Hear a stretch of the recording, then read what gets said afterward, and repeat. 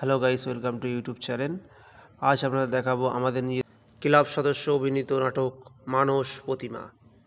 পরিচালনায় সামন্তী ফাটাকেশ্বর স্মৃতিসংঘ চলুন পুরো নাটকটা দেখা যাক। দেখার পরে অবশ্যই চ্যানেলটা সাবস্ক্রাইব করে দেবেন।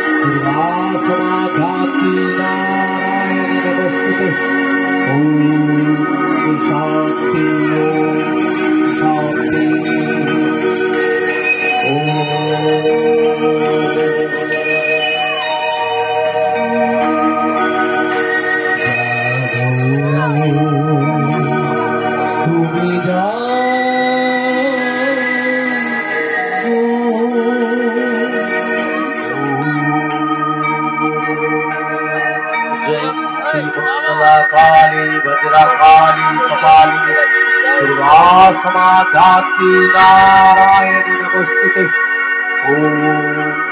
শান্তি শান্তি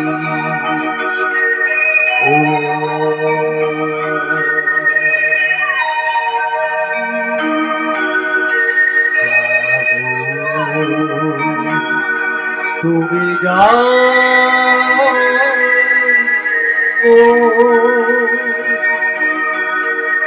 যাব দু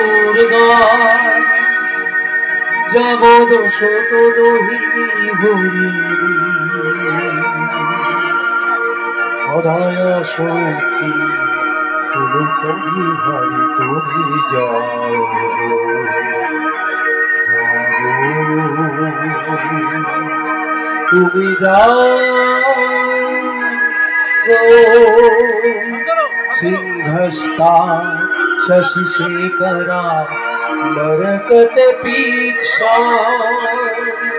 चतुर्भिभुजै शङ्खं चक्रधनुशरा जगत्किरीटैस्थिता आमुक्तङ्गनहारकं कला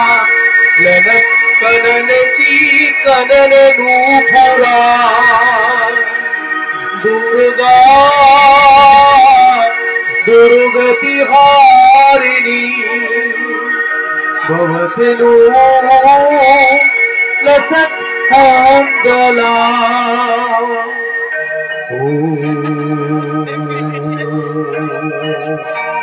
भक्तिरूपे समस्थिता दुर्गा समाख्याति नारायणि नमस्तुते ॐ शान्ति ॐ शान्ति नमस्थिता मातृरूपे नमस्थिता ओम शांति ओम शांति ओम যাদেবী সর্বভূতেষু মাতৃরূপেণ সংসিদা নমস্তস্যৈ নমস্তস্যৈ নমস্তস্যৈ নমো নমঃ।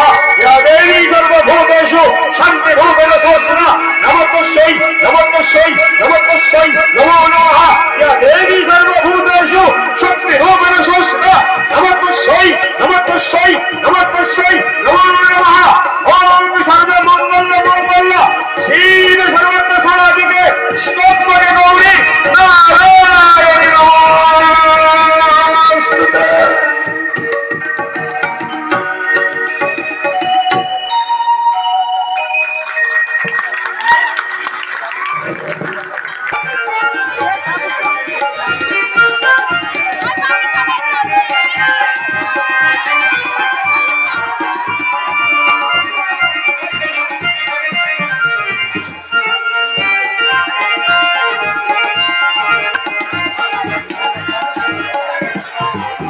নমস্কার।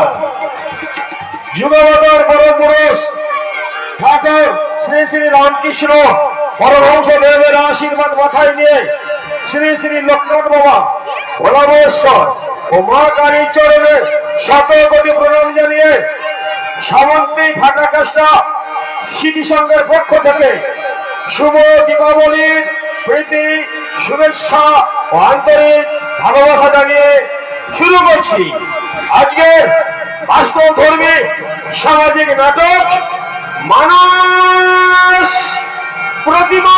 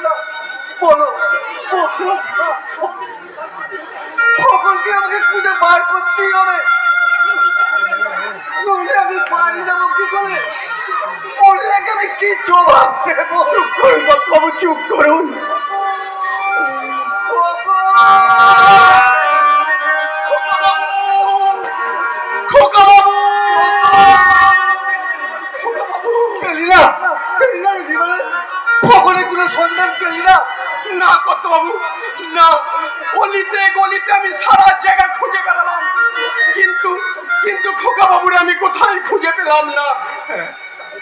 তাহলে কি হবে রে জীবনে তোর গিন্নি মাঝে খবরকে ছেড়ে পড়ছে বসে আছে। আমি অপরাধী বাবু আমি অপরাধী। আমি হাত না ছাড়লে খোকা বাবু হারাতো না। না না তোর কোনো দোষ নেই রে নিবারণ। তোর কোনো দোষ নেই। সব দোষ আমার এই পড়া কপাল নইলে নইলে মহাকালী আমার খবরকে বুক থেকে ছিনিয়ে একটা যেমন করি হোক খবরকে আমি খুঁজে বার করবই খবর খবর যে আমার কাছে খেলার জন্য খবর থাকিস না বাবা এই দেখ, আমি আমি তোর জন্য খেলনা কিনে এনেছি। তুই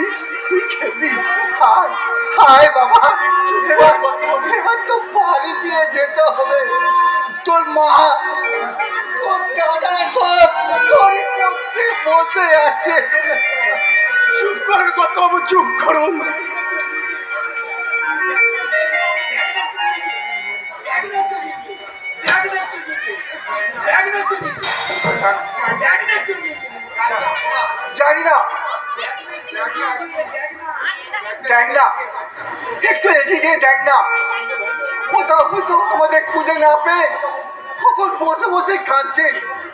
সেই থেকে উঠেছে, নইলে আবার নতুন করে ওষুধে পড়বে।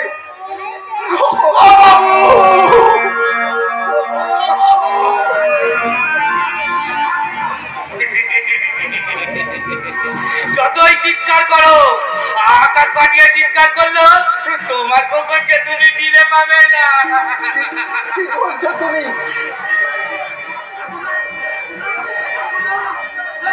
ফিরে পাবে না।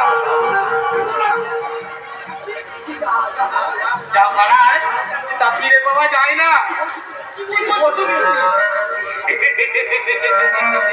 এই পাগলের কথা বিশ্বাস হলো না বুঝি? আর বিশ্বাস হবেই বা কি করে? আমার মতো পাগলের কথা তোমাদের মতো ভদ্রলোকদের বিশ্বাস করতে নেই। তোমার বাড়ি কোথায়? বাড়ি আমার। তুই দেখছি আমারই মতো পাগল। পাগল? পাগল? হ্যাঁ হ্যাঁ পাগল। আমার যদি বাড়ি থাকতো তাহলে কি আমি এইভাবে ঘুরে বেড়াতো জানো জানো আমার যদি অসীম থাকতো আমি তাকে নিয়ে একটা সুখের নীল রচনা করতাম। অসিত কে সে? কি সে অসিত? আমার ছেলে গো। আমার ছেলে। জানো তো পাঁচ বছর আগে আমি আমার অসীমকে নিয়ে এই মা কালীর মন্দিরে পুজো দিতে এসেছিলাম। তারপর তারপর সেদিন মন্দিরে ছিল খুব ভিড়। আমি আমার অসীমকে এক জায়গায় বসিয়ে আমি মন্দিরে পুজো দিতে গিয়েছিলাম। তারপর তারপর আমার অসীম এখানে পাঁচ বছর এই পাঁচ বছর আমি এত নিত্য চোখের জলে ধুয়ে দিয়েছি মা কালীর চরণ। তবুও তবুও মা কালী আমার দয়া করেনি। ফিরিয়ে দেয়নি আমার খোকনকে আমার বুকে।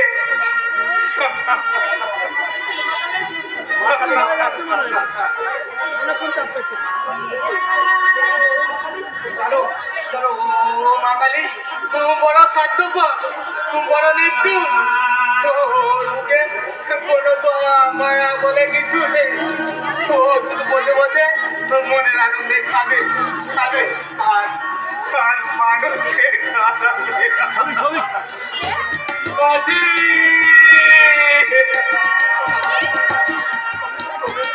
তবে মুখ কাঁদতে হবে? বলো। আমার অতীতে খুঁজে পাবো না।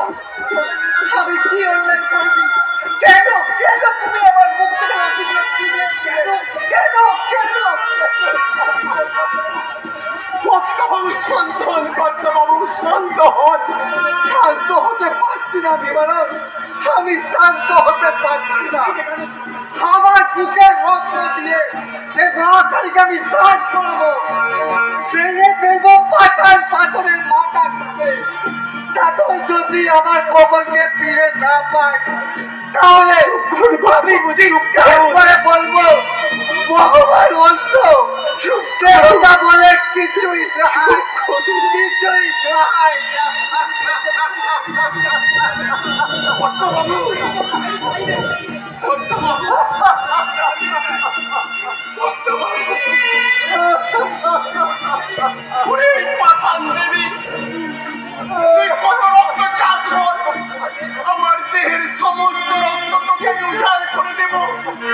বিনিময়ে শুধু তুই আমার খোকা বাবুকে ফিরিয়ে দে। শুধু ফিরিয়ে দে।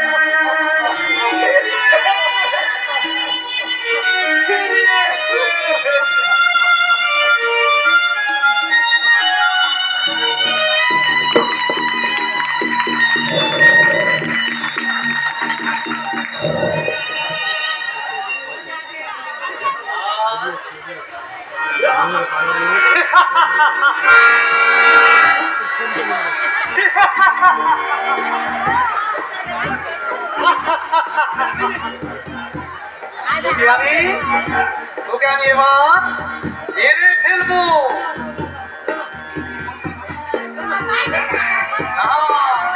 না, আগে নব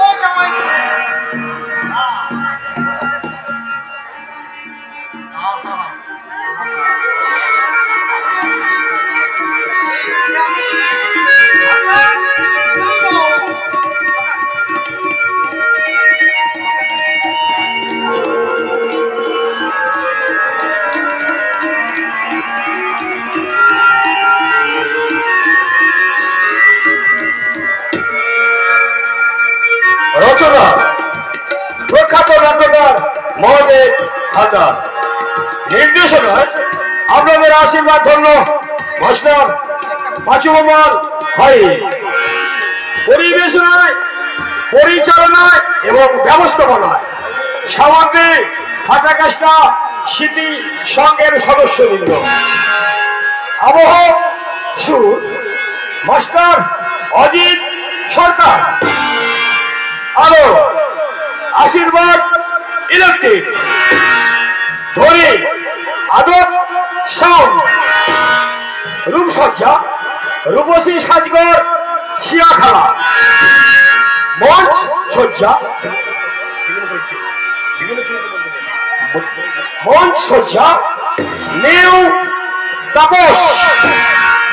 বিভিন্ন চরিত্রে অভিনয় করছেন যাদব। পলা বাহ সুনীল রাজু বাহ অনিল, সৌমেন, দাস। নিবারণ শৈলেন বাহ বনবিহারী, রাজেশ বাহ পরেশলাল, গৌতম, দাস। সুখের লাল বিল্টু ধারা, দীপক, সৈকত, দাস, মহেশ, চিরঞ্জীব, ধারা, নয়ন চাঁদ, জিতেন্দ্র বা বিকাশ, উজ্জ্বল দাস, দয়াল, উজ্জ্বল দাস। মা কালীর ভূমিকায় অভিনয় করেছে। নবাগত ময়ূরাক্ষী বাহ খবরের চরিত্রে অভিনয় করেছে। নবাগত অঙ্কুশ বাহ এবং করবীর চরিত্রে অভিনয় করেছে মিস দেবজানী একুশ বছর পর শুরু করে দিচ্ছি আজকের বাস্তব ধর্মীর নাটক। মানব প্রতিমা।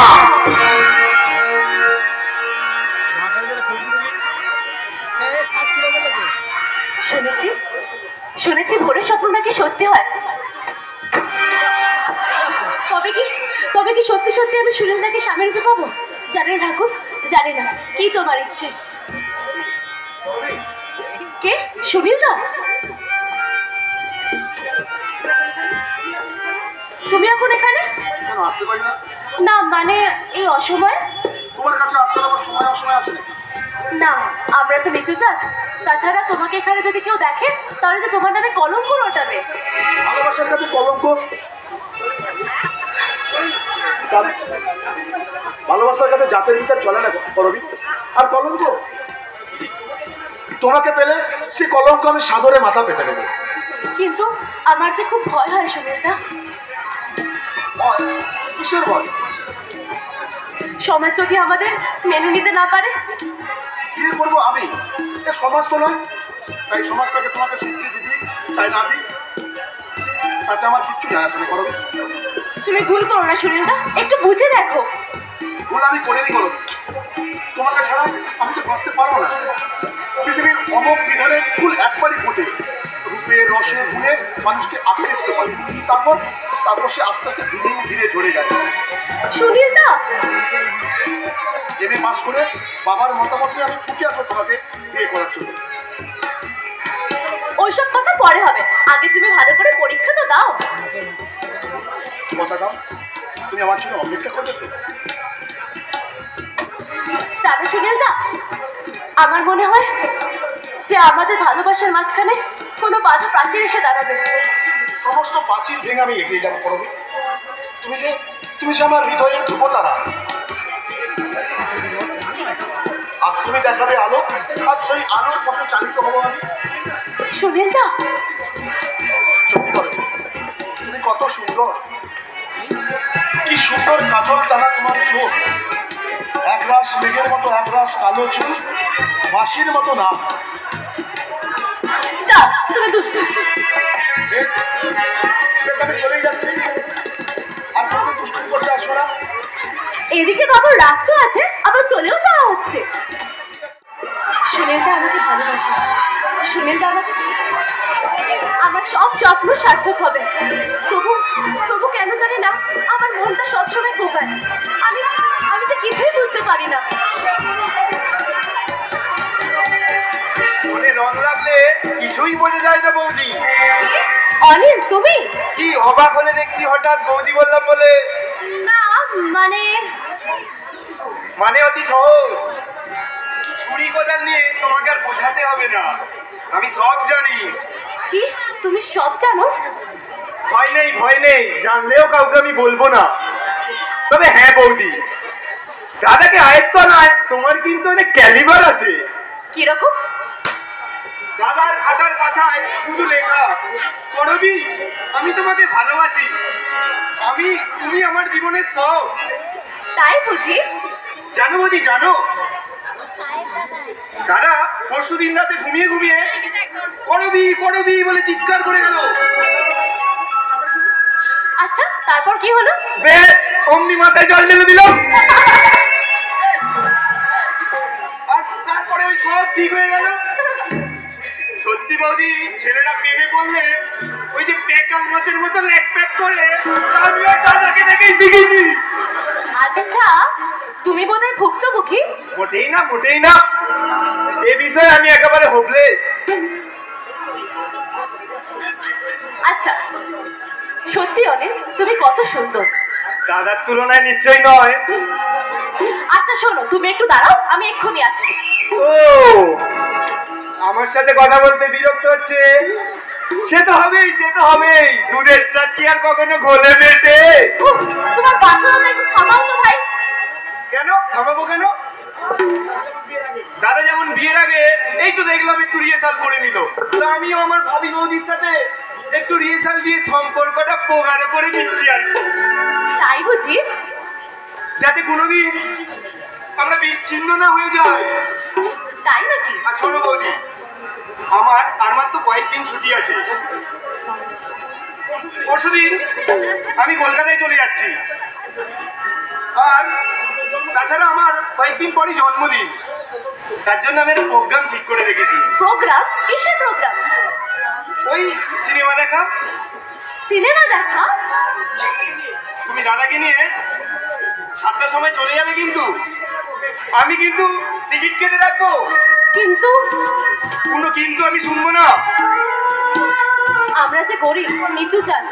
আমার অনুরোধ তোমাকে কিন্তু রাখতেই হবে। না অনিল আমরা যে নিচু জাত। আর আমাদের এই মিলনের মাথায় যদি কোনো বাধা এসে দাঁড়ায়?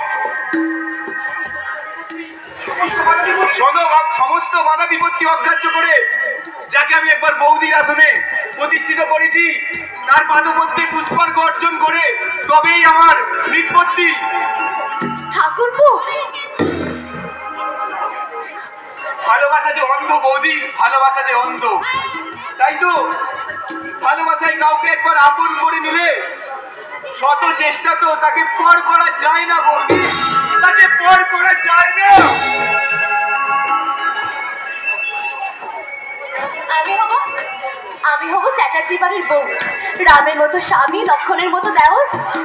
জানি না জানি না এত সুখ ভগবান সহ্য করবেন কিনা।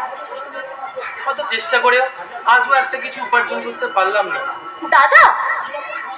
বিনা পরে বিয়ে করতে কেউ রাজি হচ্ছে না। পরে পরে সব শোধ করে দেবে বলছে। আমার কথা কেউ বিশ্বাসই করছে না। দাদা আমরা যে গরিব আমাদের কথা যে কেউ বিশ্বাস করবে না দাদা। করি বলেই তো সকলের কাছ থেকে অপমানিত হয়ে ফিরে দাদা। তবুও আমি হাল ছাড়বো না। যতদিন না তোকে পাত্রস্থ করতে পারি। আচ্ছা তোমার বুঝি পেটের ভাত হজম হচ্ছে না? করবি আচ্ছা দাদা আমি কি তোমার কাছে এতটাই বোঝা হয়ে দাঁড়িয়েছি যে আমাকে বিয়ে দেওয়ার জন্য তুমি এত উঠে পড়ে লেগেছো? বোঝা হতে যাবি না দাদা না। আমার জন্য তোমাকে আমি কারোর কাছে ছোট হতে দেব না। জানিস করবি জানিস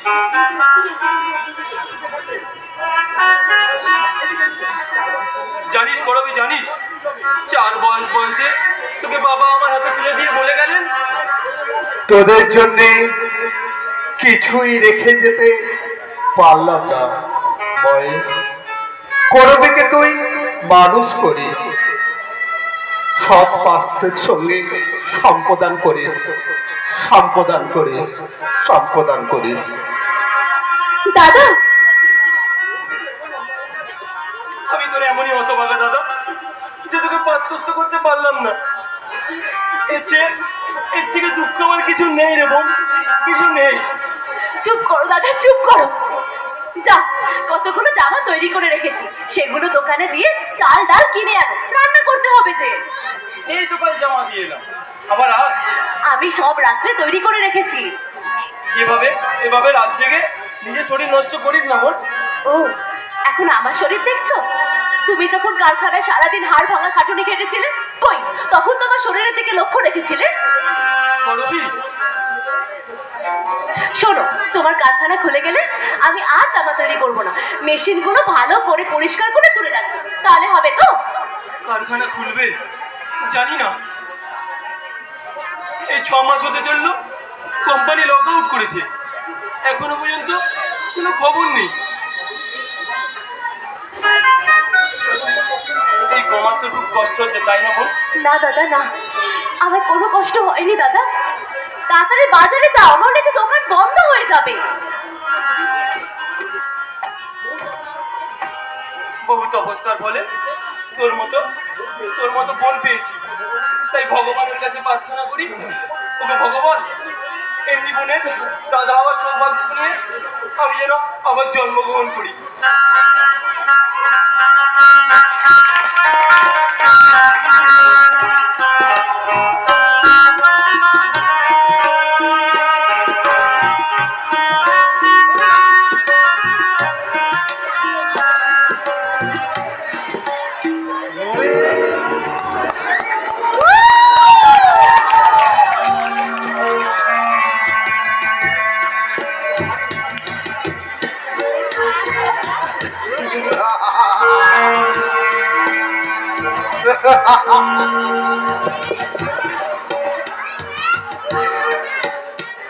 ভগবানের কি অদ্ভুত বিচার? কোথায় ছিলাম অজ করা গায়ে বেকার শিক্ষিত যুবক। লাখ লাখ টাকার মালিক ভূষা ফ্যাক্টরির মালিক, অপরদিকে ট্রাক মার্কেটার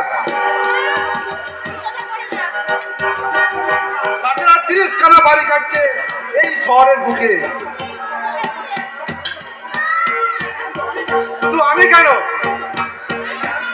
আমার পাঁচ পুরুষ দিব্যি হাত পা ছড়িয়ে খেতে পাবে। আপনার কথা মাল ঠিক দিয়েছি। এই জন্যই তো তোমাকে বিশ্বাস করে কাজের দায়িত্ব এবার আমার মজুরিটা, স্যার। হ্যাঁ নিশ্চয়ই দেব। কিন্তু পুলিশ আমাদের কোনো সন্দেহ করেনি তো? পুলিশ কেন? পুলিশের বাবও সন্দেহ করতে পারবে না। তারপর তোমার ওই নতুন ছেলেটা কাজ কেমন করছে? সে একাই একশো। কাল রাতে গাড়ি থেকে পাঁচশো টিন বেবি ফুড নামিয়েছে। পাঁচশোটি। হ্যাঁ স্যার পাঁচশো দিন এবার আমার মজুরিটা দিন। হ্যাঁ নিশ্চয়ই দেবো।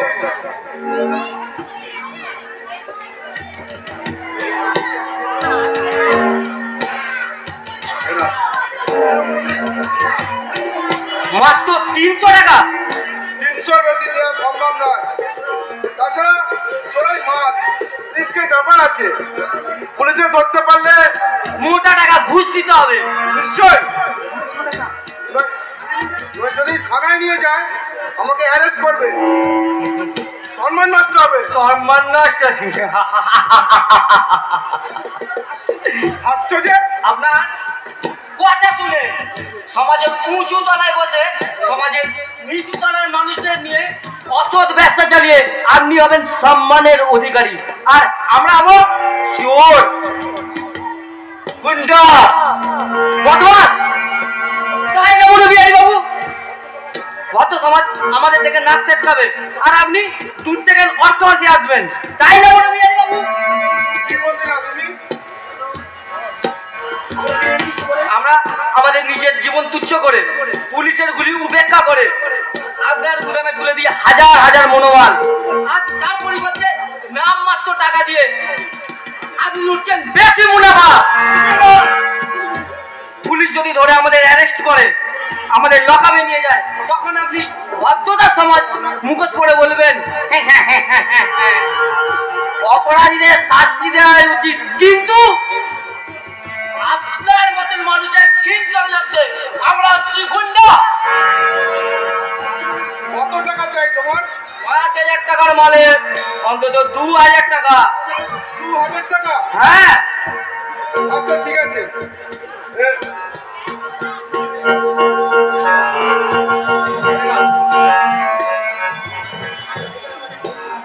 এ টাকা আমার নিজের জন্য নয় যারা দুবেলা দুটো খেতে পায় না রাস্তায় কুকুরের মতন ঘুরে বেড়ায়। শিক্ষা সভ্যতা থেকে যারা বঞ্চিত তাদের হাতে তুলে দেবো এই টাকা। এইভাবে বেকার টাকা শুধু নষ্ট করিস নে। কি হবে ওস্তাদ? এই টাকা নিয়ে? এই পাপের পথে যখন এসেছি তখন তো আর ফিরে যেতে পারব না। তাই তাই বলে পাপের টাকা ফিরে বিলিয়ে দেবো সর্বহারাদের মধ্যে। তাই বলে এইভাবে টাকা অসমের জন্য কিছু রাখবি না? রাস্তা দেখেন কুড়িয়ে এনে তুমি যখন আমাকে মানুষ করেছ তখন অসমে তুমিই আমাকে দেখবে ওস্তাদ। গুন্ডামি করি, ওয়াগান ভাঙি, আমার নিজের জন্য নয়। দরিদ্র, সর্বহারা, যারা মানুষের মুখে তুলে দেবো, ক্ষুধার আহার ফুটিয়ে তুলবো তাদের মুখের হাসি। দেখি বলছেন সুখে, যাদের জীবন নিভে গেছে গাঢ় অন্ধকারে, যাদের জীবনে এসে গেছে গাঢ় অন্ধকার। এই নিষ্ঠুর সমাজের অত্যাচারে তাদের মুখে আমি হাসি ফোটাতে চাই ওস্তাদ হাসি ফোটাতে চাই।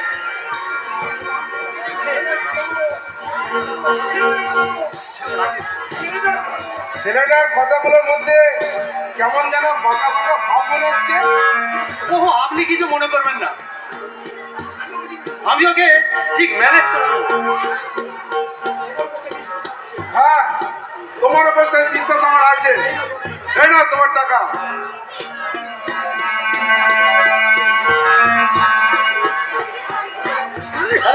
আমি এখন চলি স্যার। হ্যাঁ এবার যে মালগুলো আনবে সেগুলো যেন আন্ডারগ্রাউন্ডে রাখা হয়। ঠিক আছে স্যার। আপনার কথা মতো মাল আড্ডার গোডাউনেই রাখব। চলি স্যার। ছেলেটার বিবেক বুদ্ধি আছে। মনে হয় কোনো ভদ্রকারের সন্তান। অনেক লোকের মুখে শুনেছি ছোট জাতের ছেলে। রাস্তা থেকে কুড়িয়ে এনে মানুষ করেছে। কিন্তু আমার তো সে বিশ্বাস হচ্ছে না। কিন্তু কি বিশ্বাস হয় না বাবা? দীপক বলো বাবা। সারাদিন তুমি কোথায় ছিলে? না মানে আচ্ছা দিন রাত তুমি টোটো করে কোথায় ঘুরে বেড়াও? আমি? হ্যাঁ তুমি। তোমার আয়নায় নিজের শরীরটা দেখেছ? আমাকে যে অনেক কাজ করতে হয় বাবা। কি কাজ? সে আমি তোমাকে ঠিক বলে বোঝাতে পারব না।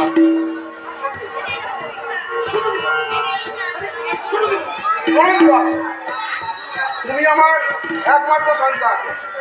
ভবিষ্যতের উত্তরাধিকারী। আমি চাই ব্যবসা তুমি দেখাশোনা করো। সে পরে হবে। আচ্ছা বাবা। হ্যাঁ কিছু বলবে আমার কিছু টাকার দরকার। কত টাকা? এই তো প্রতিদিন তুমি নিলে আমার থেকে পাঁচশো টাকা। আচ্ছা আমার টাকার ভীষণ দরকার বাবা। কত টাকা চাই? পাঁচ হাজার টাকা। না না। পাঁচ হাজার টাকা দিতে পারব না। তুমি নিয়ে কি করবে? এক ভদ্রলোককে আমি কথা দিয়েছি, তার মেয়ের বিয়ের বর্পণের পাঁচ হাজার টাকা আমি তাকে দেবো। না না, আমি এ টাকা আমি দিতে পারব না। আমার মুখের কথা বিশ্বাস করে ভদ্রলোক তার মেয়ের বিয়ের ব্যবস্থা করেছে। এখন এই টাকা না পেলে ভদ্রলোক তার পাড়া প্রতিবেশীর কাছে লজ্জায় মুখ দেখাতে পারবে না। আমি আমি তোমার পায়ে বাবা।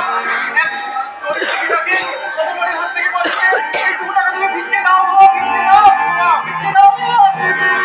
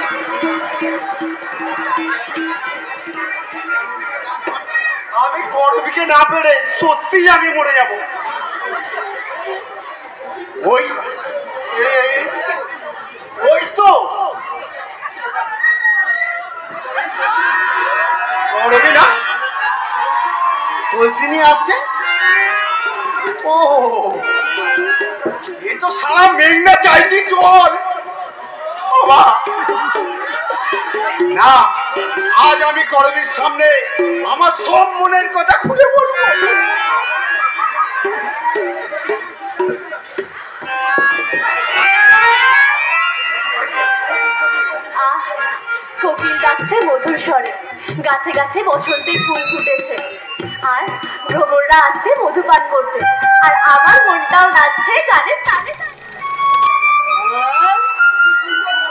কি সুন্দর গোলা কি সুন্দর গান গো। সত্যি করবি, তোমার গান শুনে। রোজ এখানে ছুটে আসি গো। আমার আমার বয়সটা ষাট থেকে সুন্দর সত্যি? একদম নির্ভেজাল সত্যি গো। যাক শুনেও শান্তি। যাই দেরি হয়ে যাচ্ছে। আমি জলটা ভরে আসি।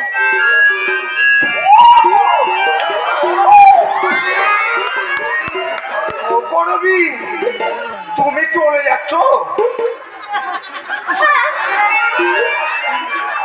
তবে তব- তবে কি আমার উপরে একটু মায়া হলো না? মায়া? কিসের মায়া? এখনও তুমি বুঝতে পারছ না? আমি রোজ বিকালবেলা এখানে তোমাকে দেখার জন্য ছুটে আসি গো। কেন? সত্যি কথা বলতে কি জানো? আমি একটু তোমাকে ভালোবাসি। ভালোবাসো? তুমি ঠিক ধরেছো। আমার মনের কথা করবি এতদিন পর তুমি ঠিক ধরেছো। এই জন্যই তো বলে মনের মানুষ মনের মানুষকে ঠিক পেরেছে। আপনার কি আর কিছু বলার আছে? আমার অনেক কিছু বলার আছে এত তাড়া কিসের করবি কেন করবি জানো তোমাকে আমি একটু বিয়ে করতে চাই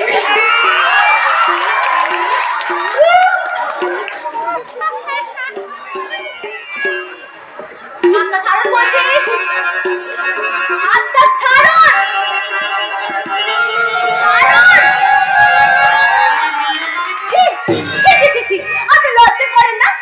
আমি কোথায় কাকা বলি ছি, নির্লজ্জ কোথাকার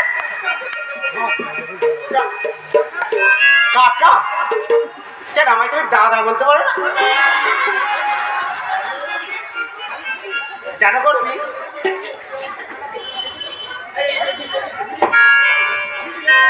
জানো করবি? আমি তোমাকে ভালোবেসে আপনি কি পাগল হয়ে গেলেন? পাগল? আমি পাগল? যখন কেউ আমাকে পাগল বলে, তার প্রতিবাদ আমি। আর যখন তুমি আমায় পাগল বলো ধন্যতে হয় সে পাগলাবে পাগল তোমার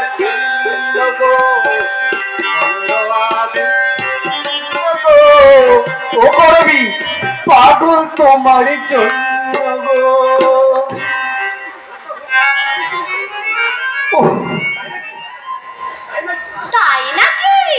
হ্যাঁ তোমার তো আমি ভালোর জন্যই বলছি গো। টাকা পয়সা দিয়ে তোমার দাদা তোমার বিয়ে দিতে পারবে না। তাই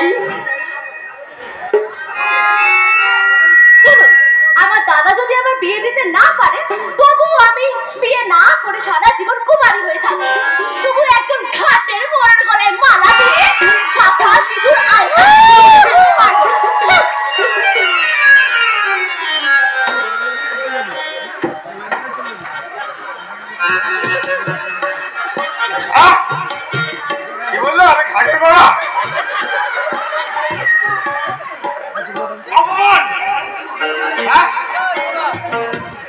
সারা বাউন হয়ে খোঁজনি চাপ করতে হয়েছে হ্যাঁ?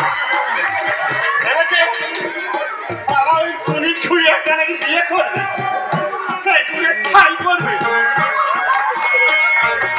আমি থাকতে তার কোনো মতে আমি হতে দেবো না কিন্তু আমি ছলে ওই সুনীলকে মরমির কাছ থেকে আমি ছিনিয়ে নেব রে।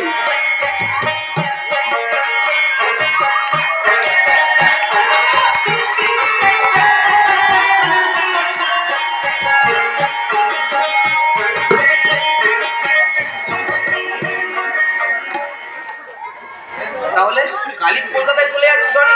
হ্যাঁ দেখতে দেখতে আমার ছুটিটা শেষ হয়ে গেল। জানিস বিকাশ এই গা ছেড়ে শহরে থাকতে আমার কিছুতেই ভালো লাগে না। কি করবি বল? বড় হতে গেলে কলকাতায় গিয়ে তোকে পড়াশোনা শিখতেই হবে। আর তাছাড়া কাকাবাবুর বড় ইচ্ছে তুই বড় ইঞ্জিনিয়ার হবি। আমি যথাসাধ্য চেষ্টা করব। জানি না বাবার সেই ইচ্ছা আমি পূরণ করতে পারব কিনা। পারবি রে তুই পারবি। থেকে দেখে আসছি তোর পড়াশোনার একাগ্রতা। আর তাছাড়া তুই পরীক্ষায় প্রত্যেক বছর ফার্স্ট হয়েছিস। তা অবশ্য হয়েছি। কিন্তু জানিস তো এবারে আমি বেশি কিছু আশা করতে পারছি না। আচ্ছা তোর পরীক্ষার কতদিন বাকি আছে রে? প্রায় ওই ছ মাস। তাহলে পরীক্ষা না দিয়ে তো আর বাড়ি আসতে পারবি না রে। না রে আর ছুটি পাওয়া যাবে না। তাই বলে মাঝে মাঝে আমায় ফোন করতে বলিস না। তোকে ফোন করতে ভুলে যাব আমি? আমি কলকাতায় থেকে পড়াশোনা করলেও মনটা আমার সব সময় পড়ে থাকে তোর কাছে। মাঝে মাঝে মনে হয় সব কিছু ছেড়ে ছুটে আছি তোর কাছে। অনেক ছেড়ে থাকতে আমার কিছুতেই ভালো লাগে না। ছুটির যে কদিন আমি এখানে থাকি খুব ভালো থাকি। আর তুই কলকাতায় গেলে আমার মন যেন কেমন মনমনা হয়ে যায়। আমার কিছুই ভালো লাগে না। ভালো আমারও লাগে না রে অনিল। আমিও নিজেকে স্থির রাখতে পারি না। আমাদের বন্ধুত্ব অভিন্ন। তাই তো আমাদের একে অপরকে ছেড়ে থাকতে এত কষ্ট হয়। যাক কাকাবাবু কেমন আছে রে? ভালো নেই রে। ভালো নেই। বাবাকে হয়তো আর বাঁচানো সম্ভব নয় সে কি? হ্যাঁ রে। যে রাজরোগে বাবাকে আক্রান্ত হয়েছে। আমাদের মতো গরিবদের সাধ্য নেই। সেই রোগকে সুস্থ করে তোলা। তাই বলে চেষ্টা করে ত্রুটি রাখছি না রে। কিন্তু আমার তো মনে হয় না, আমার শেষ রক্ষা আমি করতে পারব না। তুই এক কাজ কর বিকাশ। কাকাবাবু তুই কলকাতার কোনো বড় ডাক্তার বড় ডাক্তার? বড় ডাক্তারের কাছে যেতে গেলে পর্যাপ্ত অর্থের প্রয়োজন। আর আর যা কিছু ছিল আমার কাছে তা সবই আমি শেষ করে ফেলেছি।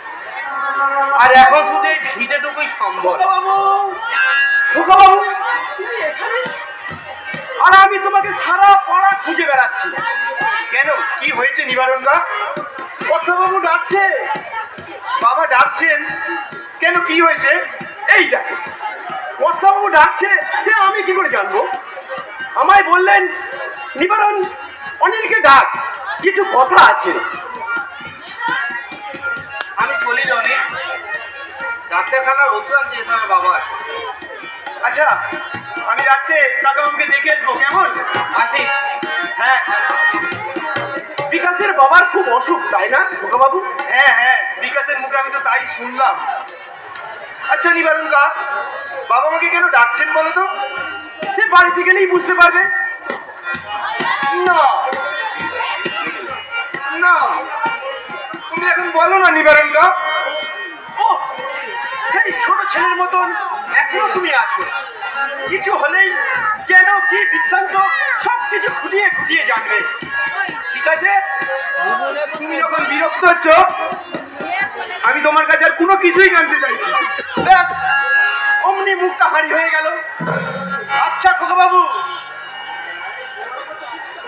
মুখটা এরকম করে থাকো না বলছি। ও খোকা বাবু খোকা বাবু এই ও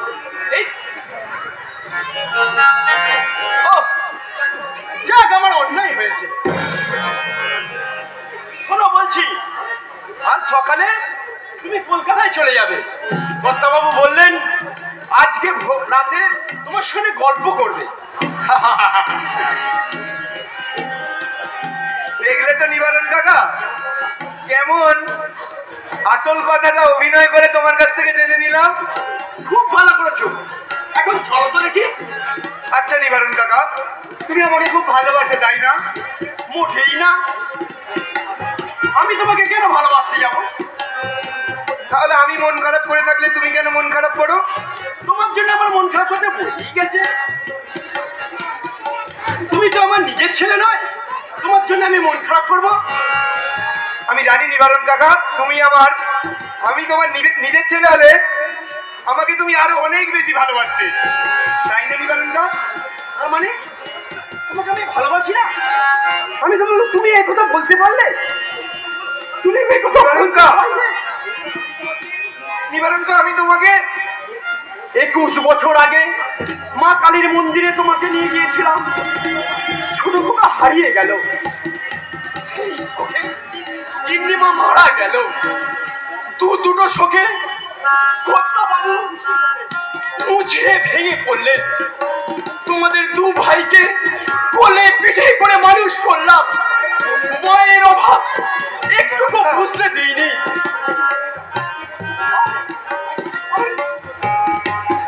তুমি বলছো কিনা? আমি তোমাকে ভালোবাসি না। পৃথিবীর মানুষগুলো সব বেইমান ভালোবাসার মর্যাদা কেউ দিতে পারে না। ভালোবাসা। ভালোবাসার মর্যাদা কেউ দিতে পারে না। কেউ না কেউ না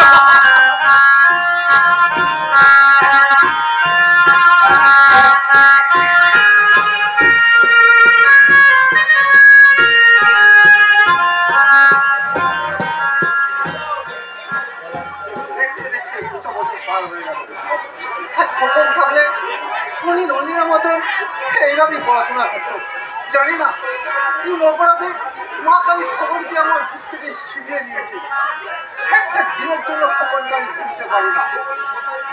বলে স্বপ্ন দেখি কখন রাস্তায় বসে দুই চোখে মুখ ভাসাচ্ছে আর বলছে বাবা বাবা!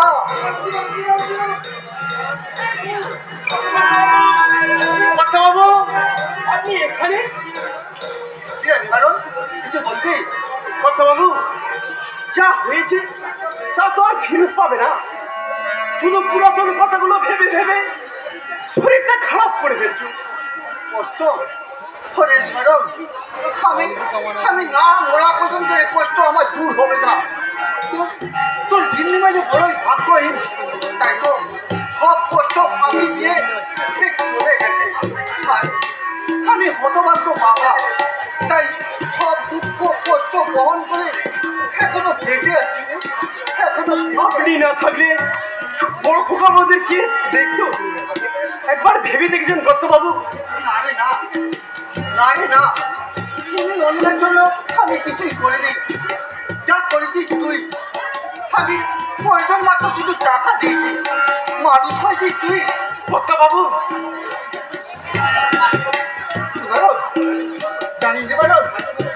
মাঝে মাঝে ভাবি কখন আর তোর গিন্দিমার কথা মনে করব না। জানি কোন কক্ষণে একুশ বছরের স্মৃতিকে আমার চোখের সামনে টেনে আনে। তাতে আমি টেরই পাই না রে। দত্তবাবু টেরই পাই না। ওরে ওরে তোকে আমি বোঝাতে পারব না। আমার বুকে জ্বালা যন্ত্রণা কতটা? চুপ করুন দত্তবাবু চুপ করুন। আজ আবার নতুন করে মনে পড়ে গেল সেই আমার কানাইয়ের কথা। কানাই, সে আমাকে আমার হতভাগ্য ছেলে।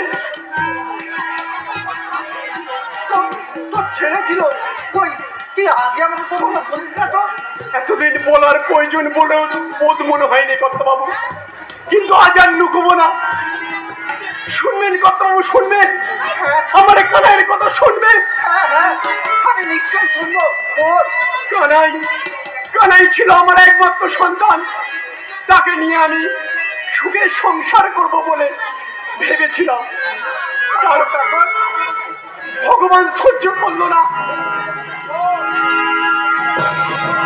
বৈশাখীর প্রচণ্ড ঝড়। পড়ল আমার ঘর।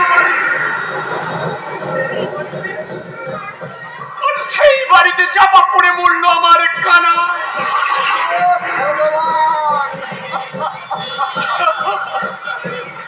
কানাইয়ের মৃত্যুর পর আমি রাস্তায় রাস্তায় ঘুরে বেরিয়েছি।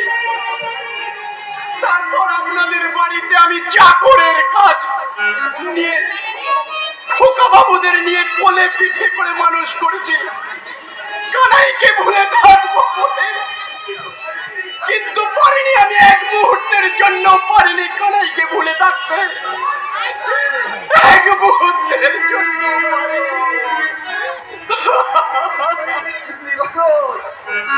চাকর হয়েও আমি তো মানুষ সন্তান হারানোর যে ব্যথা, আমি মরবে মরবে বুঝি বাবু আমি মরবে মরবে বুঝি।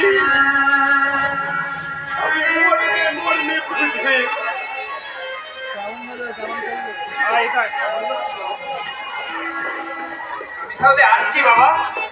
এখনই? হ্যাঁ এখন তাহলে ওই ট্রেন সময়টা পার হয়ে যাবে।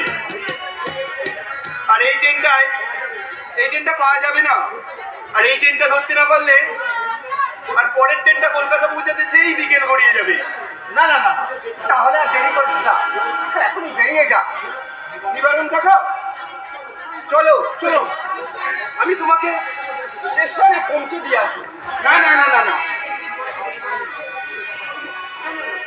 না না না না। তার আর প্রয়োজন হবে না। আমি নিজেই সে বললে তো শুনব না। প্রতিবারে যেমন তোমাকে আমি পৌঁছে দিয়ে আসি এবারেও পৌঁছে দিয়ে আসব।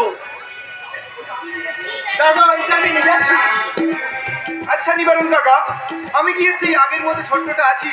কে বলেছে তুমি এখনও ছোট আছো? কত বড় হয়েছো? কত বড় বই পড়ে তুমি বিদ্যান হয়েছো? তবে তুমি যতই বড় হও না কেন সেই আমার কাছে ছোট খোকা বাবুটাই আছো তাই না খোকা বাবু হ্যাঁ হ্যাঁ। তাহলে আর দেরি করিস না। যা ট্রেনটা লেট করলে তাহলে অসুবিধায় পড়বে। যা হ্যাঁ, যা। দাও, আমাকে দাও আমাকে দাও। চলো, চলো। আসি বাবা। নিজের শরীরের খেয়াল রেখো। হ্যাঁ বাবা। দুর্গা দুর্গা দুর্গা দুর্গা শুনি নেমে পড়ছে। অনেক ইঞ্জিনিয়ার আজ যদি তোমার বেঁচে থাকতো দেখতো তার স্বপ্ন কতটা সার্থক হয়েছে। তোমা তুমি স্বর্গ থেকে সুনীল আর অনিলকে আশীর্বাদ করো। ওরা যেন জাদু নয়নদা যে তা হঠাৎ কি মনে করে? কি করছ যাদব? কি করছে একবার তোমার সঙ্গে দেখা করব। কিন্তু সময় হয়ে ওঠে না। এই তোমার বৌদিন না ভাই ফরমাস শুনতে শুনতে আমার সব সময়টা শেষ হয়ে যাচ্ছে। তাই নাকি? হ্যাঁ। ওই মানে তোমার বৌদি কাপড়গুলো কোঁচ কোঁচ কাটতে হয়। বাসনও মাজতে হয় রান্নাও করতে হয়। তারপরে জানো তো আমার কি আর বেরোনোর সময় হয় গো? এসব কাজ আপনাকে করতে হয়? আরে শুধু কি তাই? আর একটা কাজ করতে হয় গো। সেটা বলব? বলো বলো কি কাজ করতে হয় বলুন তা মানে তোমার বৌদি একটু ওই এইচএস থেকে এইচএস পর্যন্ত আমাকে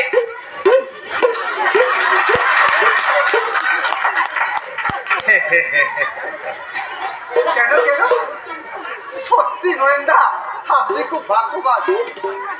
স্ত্রী পার্টি মিডিয়া প্রজন স্বামীর ভাগ্যে জোটে। কি বলে?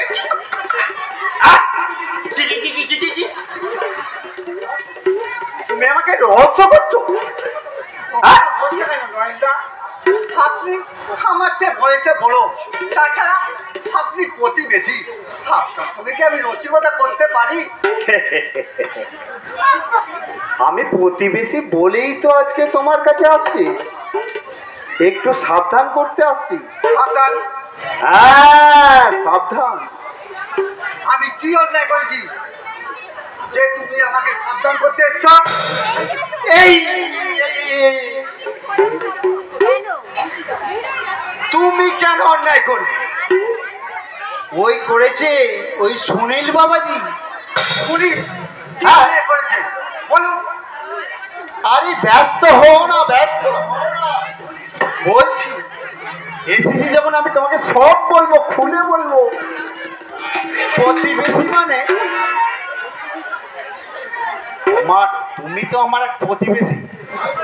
কারণ, কিছু যদি অঘটন ঘটিয়ে ফেলে, তখন তো আমাদের এই ব্রাহ্মণ সমাজেরই অপমান। এখন মনিকা না রেখে আসল কথা খুলে বলুন। আরে এই যে বলছি বলছি, ওই যে, ওই নরেন গুসাইদের মেয়ে, কি জানো খোঁজরিটার নাম?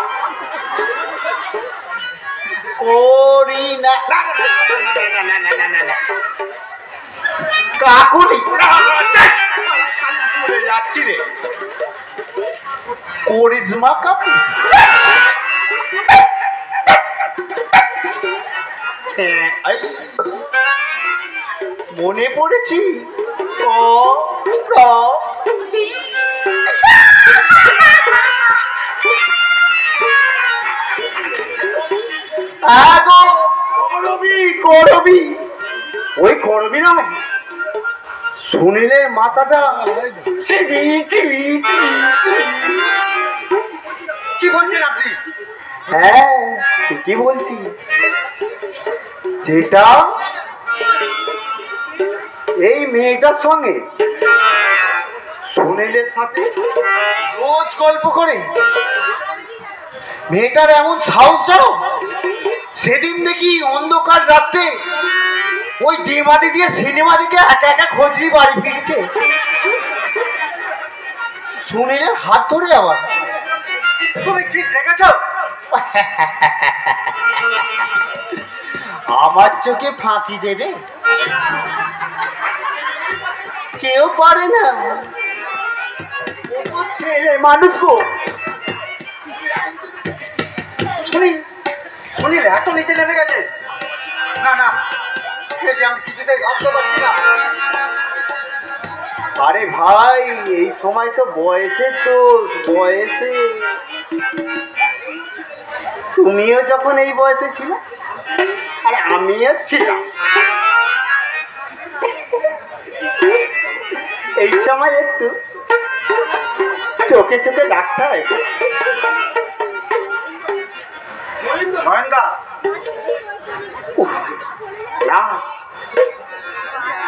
তো যদি এ কথা সত্যি হয় তাহলে সুনীলকে আমি আজই বাড়ি থেকে তাড়িয়ে দেবো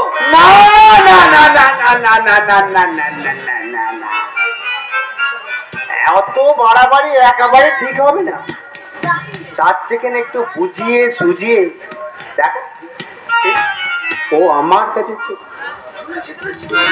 সুনীল, তবে সেই ধরনের ছেলেই নয় গো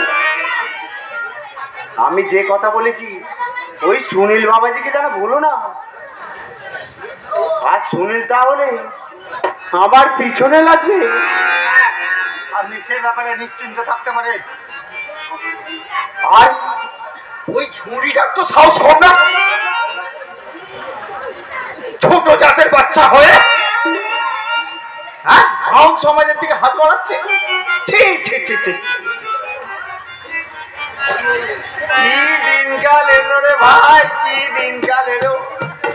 সবই জেনে শুনে আমার মনে হয় আমি একটু কাছে চলে যাই।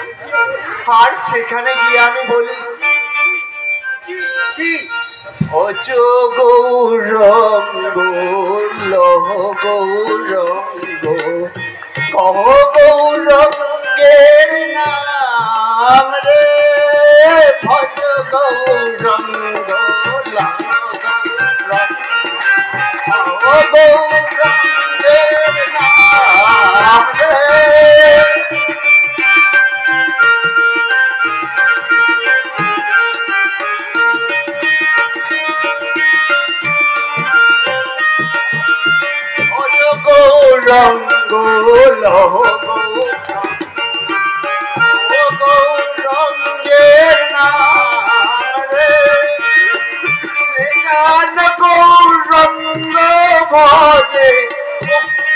বড় বিজন হয় আমার মাল রে।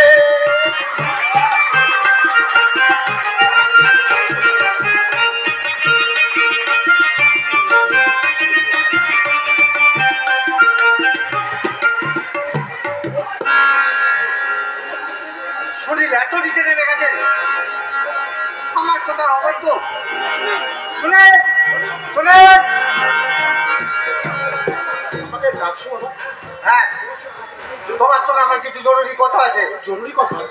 হ্যাঁ আমি চাই না তুমি বড়বির সঙ্গে মেলামেশা করো, বাবা। কি বলছো তুমি? যা বলছি তোমার বয়স নিশ্চয়ই হয়েছে।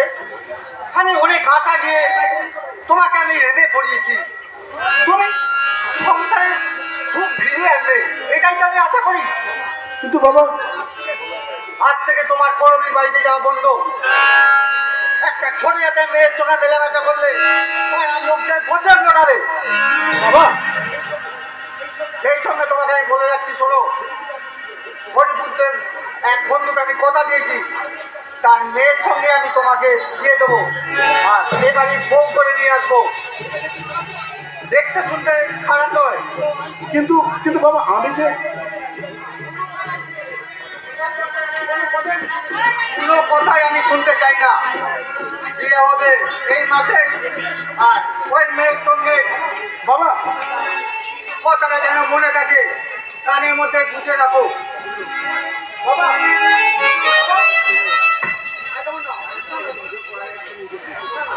না তা কি করে সম্ভব? করবিকে যে আমি প্রাণের থেকেও বেশি ভালোবাসি। আমার আমার সমস্ত হৃদয় জুড়ে, সমস্ত হৃদয় জুড়ে শুধু করবীর নাম লেখা আছে। বইয়ের পাতাটা খুললেই করবীর মুখখানা আমার চোখের সামনে ভেসে মিষ্টি ভরা হাসি, মেঘের মতো এক রাস কালো চুল। করবিকে কেমন করে ধরে রাখব? না না না না, আমি তো পারব না। আমি আজকে আমি আজই যাব করবীর গলায় মালা দিতে। আমি আজকেই যাব করবীর গলায় মালা দিতে।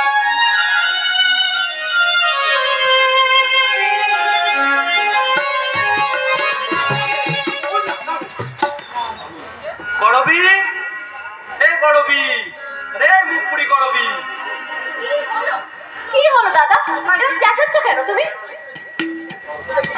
কোথায় গিয়েছিলি এতক্ষণ? কেন? বারে কত বেলা হলো। কখন রান্না চাপাবি? হ্যাঁ। ঘরে যে চাল ডাল কিছু নেই সে খেয়াল আছে তোমার? হ্যাঁ? চাল নেই। তা আমাকে আগে বলবি তো। হ্যাঁ তুমি সে সকালবেলা বেরিয়ে গেছো আর এখন বাড়ি এলে। তো তখন তোমাকে কখন তোমাকে চালের কথা বলব শুনি? আচ্ছা ঠিক আছে ঠিক আছে। আমি এক্ষুনি এক্ষুনি চালের জন্য যাচ্ছি। আরে থাক যেতে হবে না। দোকানদার অনেকবার এসেছিল তাগাদা করে গেছে।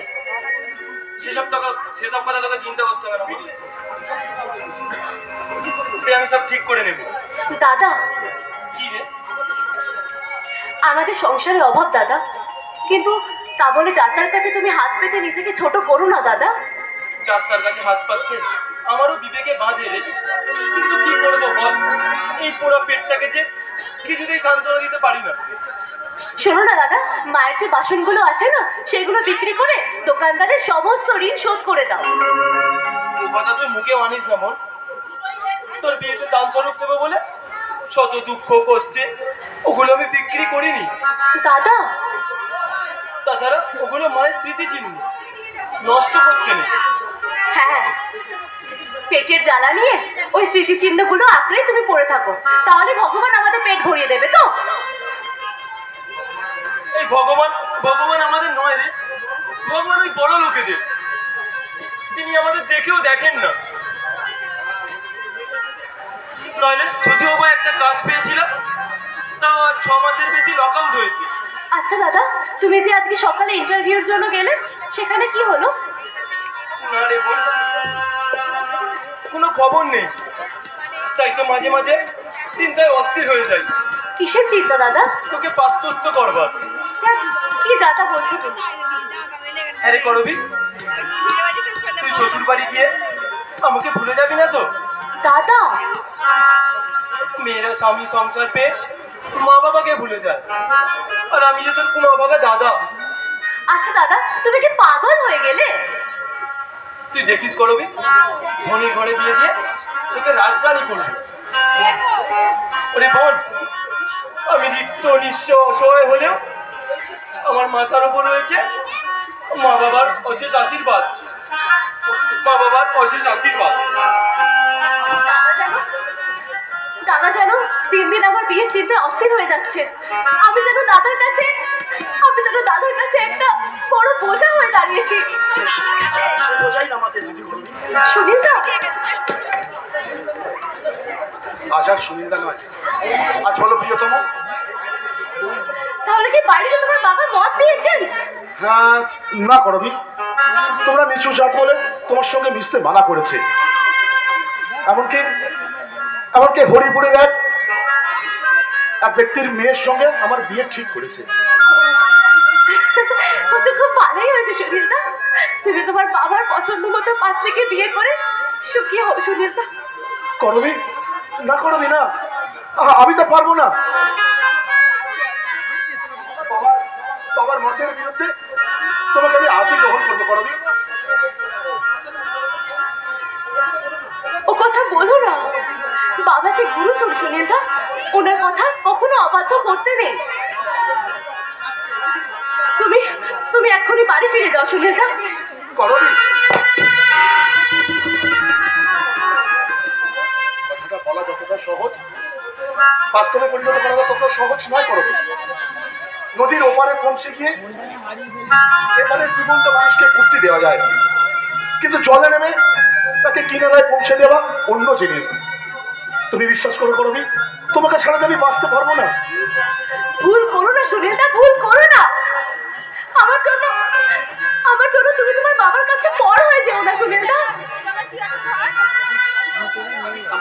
আমি কাউকে চাই না করবি আমি শুধু আমি শুধু তোমাকেই চাই করবি তোমাকে নিয়ে তোমাকে নিয়ে আমি এখান থেকে অনেক দূরে চলে যাব।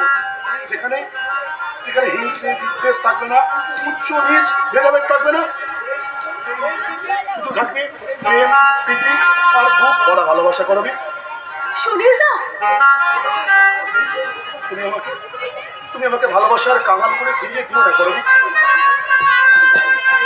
আমি চাই না আমি চাই না সুনীল দা আমার মতো আমার মতো একটা মেয়েকে না না তোমার মতো একটা তোমার মতো একটা শিক্ষিত ছেলে আমার জীবনে এসে নিজের জীবনটাকে বরবাদ করে দিক।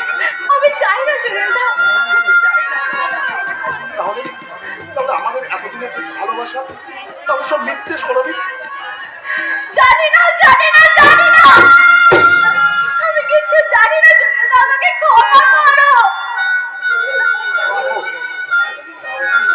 এতদিন তাহলে তুমি আমার সঙ্গে ভালোবাসার অভিনয় করে এলে, করবি? বলো করবি? বলো, করবি তুমি বলো? বলো, করবি তুমি বলো? কেন তুমি আমার সঙ্গে ভালোবাসার অভিনয় করে গেলে করবি কেন জাগিয়েছিল আমাকে আমাকে ভালোবাসার মধুর স্বপ্ন? তুমি বিশ্বাস করো সুনীল দা আমি আমি তোমার কোনো কথা বিশ্বাস করি আমি তোমার কোনো কথা বিশ্বাস করি না করবি আমি চলে যাচ্ছি। আর কোনোদিন তোমার কাছে ফিরে আসব না। রাস্তার পথ চলতে চলতে তোমার যদি আমার মানুষ পরে কোনোদিন ভেসে ওঠে তখন আমি জানব করবি নামে একটা মেয়ে আমার সঙ্গে আমার সঙ্গে প্রতারণা করেছে। আমার সঙ্গে প্রতারণা করেছে। আমার শেষ কথা শুনে যাও। প্রতারণা আমি করিনি শুনেন না। তোমাকে যে শুধু আমি ভালোবাসি সুনীল দা আর মেয়েরা একবার যাকে ভালোবাসে তার কাছ থেকে যে আর কখনো মন সরাতে পারে না। তাই আমি যতদিন বাঁচবো তোমার স্মৃতি আঁকড়ে ধরে বাঁচবো করবি সব কথাই বাইরে থেকে শুনেছি। তোকে মনে প্রায় ভালোবাসি। ওকে তো এভাবে বিয়ে দিস না। দাদা বাল্য বন্ধু। আমি চিনি। ও ভীষণ এক তোকে না পেলে হয়তো জীবনটা ব্যর্থ হয়ে যেত। বনভূমির মাঝে বনভূমির মাঝে সরোবরে স্বপ্ন যারা দেখে। তারা তারা বাঁচে না মহেশ। অখণ্ড তৃষ্ণা নিয়ে তারা শুধু ঘুরে বেড়ায়। জীবনের এ প্রান্ত থেকে আরেক প্রান্ত পর্যন্ত। বুঝি রে বুঝি। আমি সবই বুঝি। করবি তোকে মনে প্রাণে ভালোবাসে। তোকে ছাড়া করবি কাউকে বিয়ে করবে না। তাই তোর হাতে আমি করবিকে আমি তুলে দেব কিন্তু সমাজ পবিত্র বেনের কাছে এই সমাজকে হার মানতে হয় রে বোন।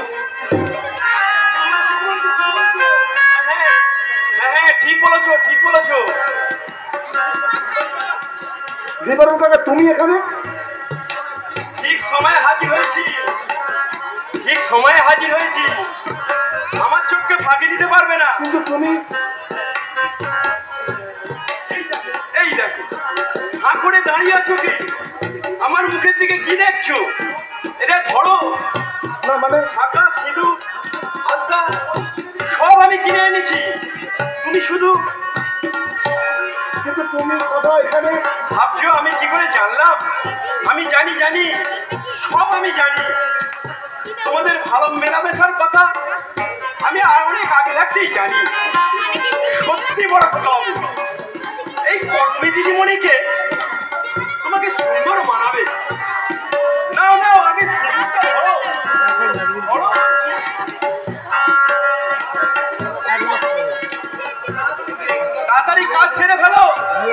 এক্ষুনি অনর্থ হয়ে যাবে।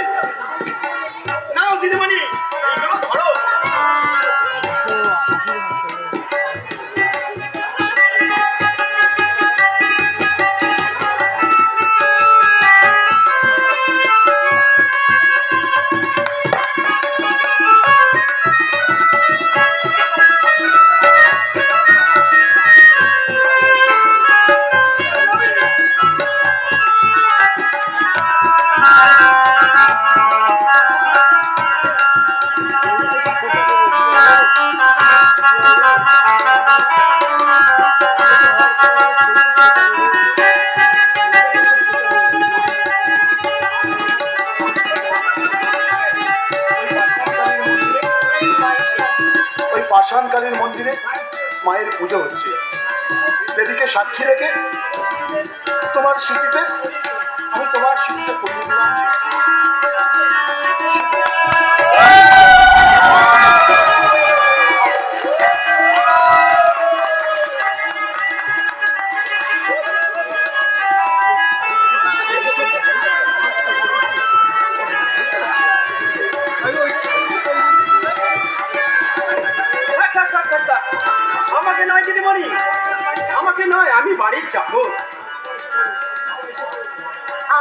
বয়সে বড় তাছাড়া আমার গুরুজন। আপনাকে প্রণাম করলে কোনো দোষ হবে না নিবরণদা আর তাছাড়া আমার নতুন জীবনে আপনাদের আশীর্বাদই তো আমার পাথেও এই দেখো দেখি আমাকে আবার আশীর্বাদ করি মামনি। তুমি চির সুখী হও চির সুমন্দিনী হও। হ্যাঁ আমি খুব তাড়াতাড়ি বাড়িতে গিয়ে সমস্ত জোগাড় করছি। তুমি মামুনিকে নিয়ে তাড়াতাড়ি এসো কিন্তু। তাড়াতাড়ি এসো। কাকা কাকা।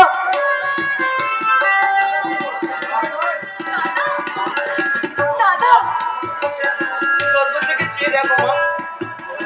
তোমার করবি হাত শ্বশুর বাড়ি যাচ্ছে কত বাকিকে তুমি আশীর্বাদ করো মা। আশীর্বাদ করো। দাদা।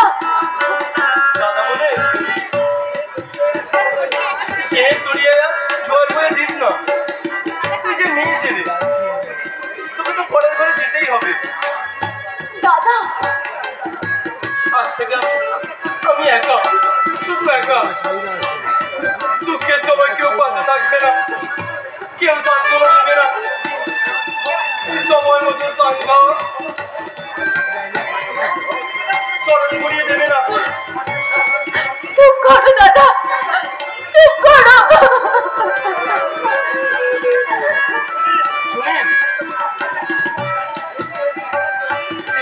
যে উপকার করলি সেই ঋণ আমি কোনোদিনও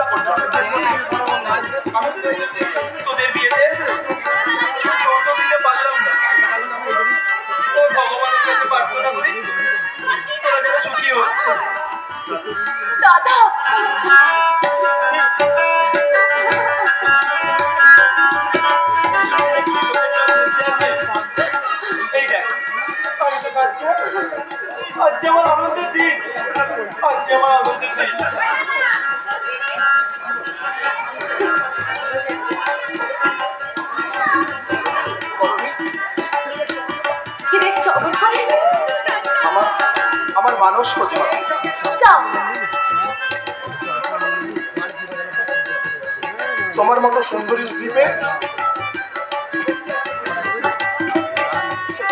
সত্যি আমি গর্বিত। চলো। চলো। দাদা নিশ্চয়ই আমাদের জন্য অপেক্ষা করছে। চলো। হ্যাঁ হ্যাঁ, চলো চলো চলো। কিন্তু আজ আমাদের বাসর রাত বাসর ঘরে? আমার যে তোমাকে দেখে বলতে ইচ্ছা করছে। কি বলতে ইচ্ছা করছে?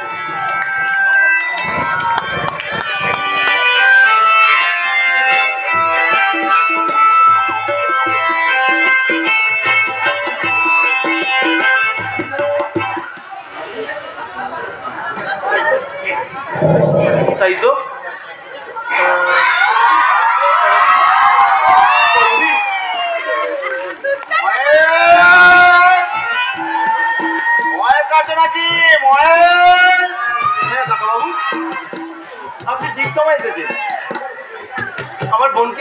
করবে হ্যাঁ চলো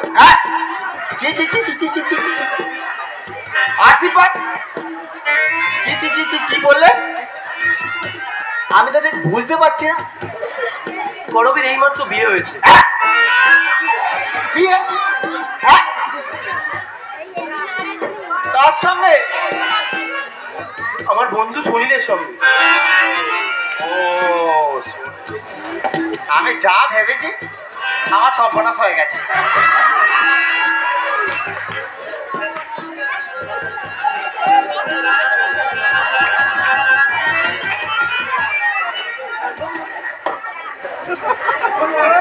আর শোনো মহেশ, তিন বছরের জন্যে তুমি আমার কাছে কিন্তু বাড়িটা বন্ধক রেখেছিলে। পাঁচ বছর হতে চলল। আমার এই সাত দিনের মধ্যে পুরো টাকাটা না দিতে পারলে বাড়ি কিন্তু সারা ছাড়তে হবে। আপনি দয়া করে আমাকে আর এক মাস সময় দিন। একবার ছাড়া ছাড়া মনে পড়ে না? ছাড়া করে বিকেল। দোকানের হাতে তুলে দিলি। আমার আর ঘুরতে থাকতে শোন ময়ের শোন। আমি সাত দিন মাত্র সময় দিলাম। ওর বেশি একদিনও আমি সময় দেবো না। না না না। অতটা নিতে হবেন না। আপনি দেখো ময়ের আমি তো এতদিন একটা আশা ছিলাম সেই আশাটা আমার ছাই। ছাই ফেলে দিয়েছে। আমি যেন সাত দিন পরেই আসব। কথাটা যেন মনে থাকে। কাকাবাবু। হ্যাঁ শোন। আমার ফোন নাম্বারটা রেখে দে। Double nine double three zero nine one three five five five বুঝতে পারিনি? নাইন টু ফোর থ্রি চারটে ফুটো। চললাম রে। আমি সাত দিন পরে আসব। শালা পয়সা দেবো না ফোনটাকে তাড়িয়ে দিয়েছে, আমি দেখে নেব। পৃথিবীতে কতগুলো মানুষ আছে? তারা অর্থের অহংকারে মানুষকে মানুষ বলে গণ্য করে না।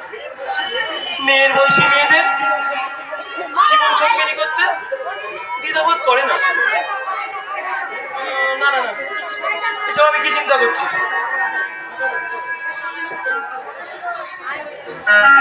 এখন আমার অনেক কাজ বিদায় করতে হবে। পরবীকে বিদায় করতে হবে। ভগবান, তোমাকে কোনোদিন পান ভরে রাখিনি আজ থেকে বলছি, আমার মা বাবা মারা আমাকে মন থেকে সুখী করো সুখী করো সুখী করো।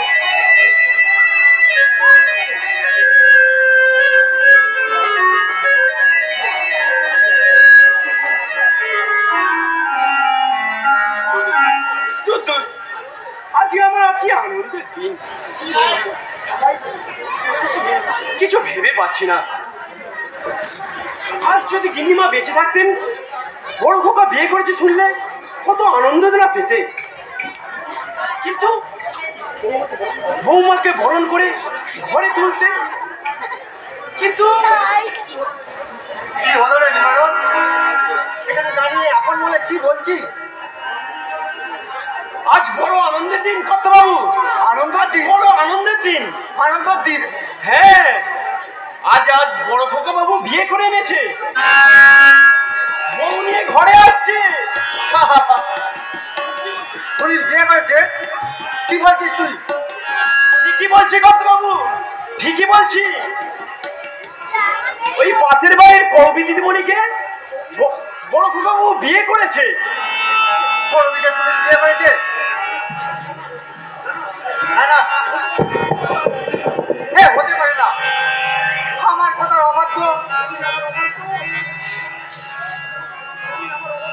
সুনীল আমার অবাধ্য। আমাকে ক্ষমা করো বাবা।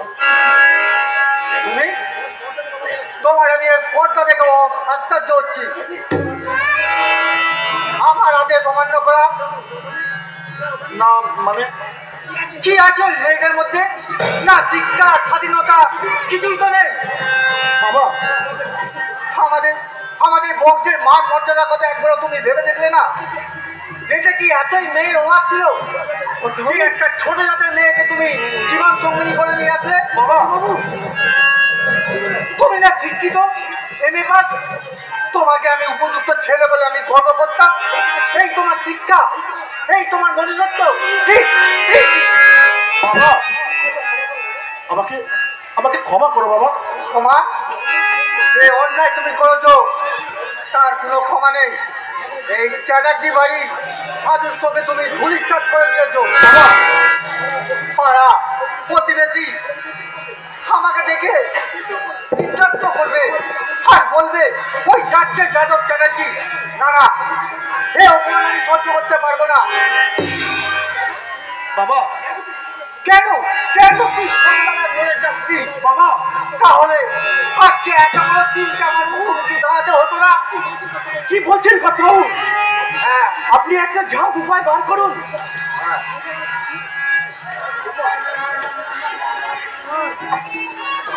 উপায় একটা উপায় আছে। শোন যদি তুই এই বাড়িতে থাকতে চাস তাহলে ওই মেয়েকে তোকে ত্যাগ করতে হবে। আপনি কি বলছেন কর্তাবাবু আমি আমি ঠিকই বলছি। আপনার ছেলে আমি কোনো আপত্তি করব না আমাকে শুধু বাড়িতে ঝিয়ের মতো রাখবেন স্বামীর কাছে আমি কোনো আবদার রাখব না কিন্তু কিন্তু আমাকে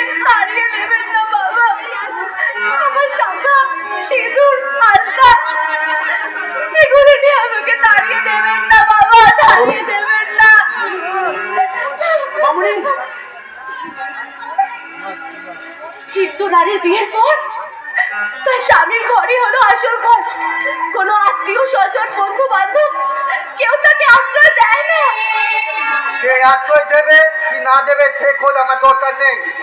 আমি চাই তুমি এই মুহূর্তে বাড়ি থেকে।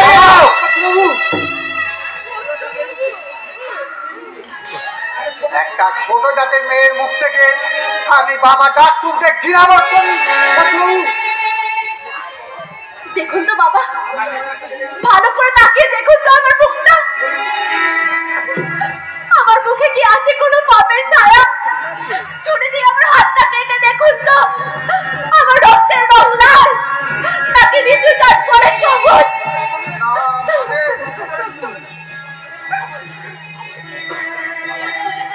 আমার জন্য। আপনার জন্য আপনাদের সংসারে আমি আমি দুঃখের অমাবস্যা দেখে নিতে চাই না বাবা। আমি চলে যাচ্ছি। শুধু যাওয়ার সময় দূর থেকে আপনাকে প্রণাম করে যাচ্ছি বাবা। দাঁড়াও করবি। আমিও তোমার সঙ্গে যাব। না গো না। আমার জন্য বাবার কাছে তুমি ছোট হয়ে যেও না। তুমি তোমার বাবার পছন্দ মতো পাত্রীকে বিয়ে করে সংসারী হয়ে সুখী হয়ে আমি তো পারব না করবি আমি তো পারব না। ভুল করো না গো। আমরা গরিব নিচু যান তোমাদের সংসারে আমার যে ঠাই হবে না আমার ঠাই হবে ওই গাছতলায়। করবি তুই না মামনি তুই একা যাস না। তুই আমাকেও সঙ্গে নিয়ে চল। কাকা বাবু চল মামনি তোমাকে নিয়ে আমি গাছতলায় পুড়ে বেঁধে থাকব। তবু লোকের দুয়ারে দুয়ারে ভিক্ষে করে খাব। তবু আমি এখানে রাজভোগ রাত ভোগ খেতে পারব না। অর্জুনের শোন নিবারণ তুই চাকর, চাকরের মতনই থাকবি। এসব পরিবারের ব্যাপারে নাক খোলাতে আসিস না। কি বললেন কথা আমি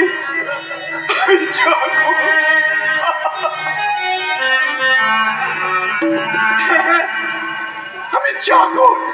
আমি চাকর বলেই তো আপনাদের কাছে আমি বাধা হয়ে পড়ে আছি। তো আপনাদেরও আদেশ। আমি অক্ষরে অক্ষরে পালন করি। খোকা বাবু তোমার বাবা মামুনিকে হিসেবে স্বীকার না করলেও তুমি মামুনির স্মৃতিতে সিঁদুর পড়িয়েছ স্থির মর্যাদা দিয়েছ। তুমি জানো আমার এই হতভাগ্য মামুনিকে কখনো ত্যাগ করো না। কখনো ত্যাগ করো না। করো না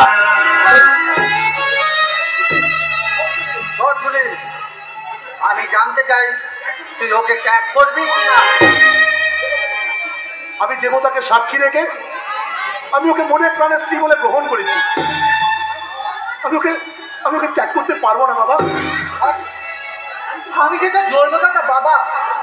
আমি বুঝি তোর কেউ নেই। সব চুপ করে আছিস কেন? বাবা। আমি বড় হয়েছি আমার আমার ব্যক্তির স্বাধীনতা আছে। আধুনিক সভ্যতার যুগে প্রত্যেক ছেলে মেয়েরই তাদের প্রার্থী নির্বাচন করার স্বাধীনতা আছে। তুই ছেলে মানুষ। মানুষ চেনার বয়স তোর এখনও হয়নি। এই বয়সে সব তোর রঙিন বলে মনে হয়। কিন্তু কিন্তু বাস্তব বড় কঠিন। বড় নির্দয়। তাই তো তোর মানুষের কত ভুল হয়েছে। আমি যা করেছি আমি তা ভেবে চিন্তাই করেছি বাবা।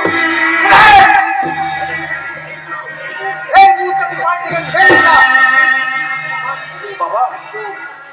কেন? চুপ কে তোর বাবা? কে চাই তোর বাবা? মুখের ডাক শুনতে। তুই আমার ছেলে নয়। আমার ছেলে হলে হয়তো এত বড় অন্যায় করতে সে পারতো না। বাবা। বেরিয়ে যা। বংশের কুলাঙ্গার কি বললে বাবা? আমি কুলাঙ্গা। হ্যাঁ হ্যাঁ। তুই কুলাঙ্গার তোর মুখ আমি দেখতে বাবা।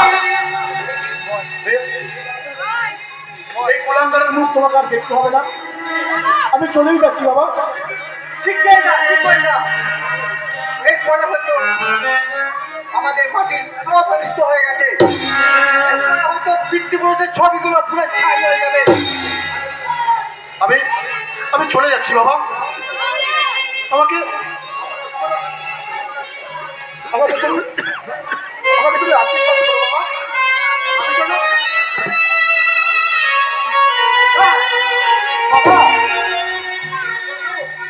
তোকে আমি আশীর্বাদ করব না। তুই আমার কেউ নয়। আজ থেকে আমি জানব তুই বলে আমার কেউ ছিল না। আর কেউ নেই বাবা বাবা। চলো বড় দুঃখকে সাথে করে আমরা হাত করে পথে নেমে যাই।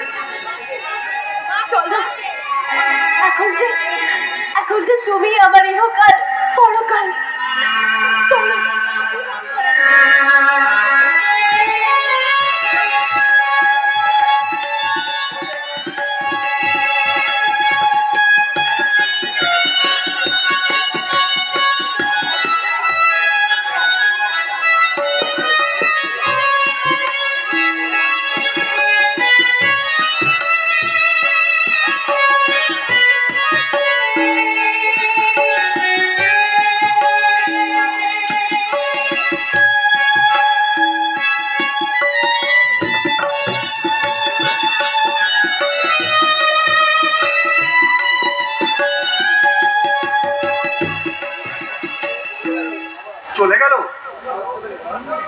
আমার সুনীল চলে গেল।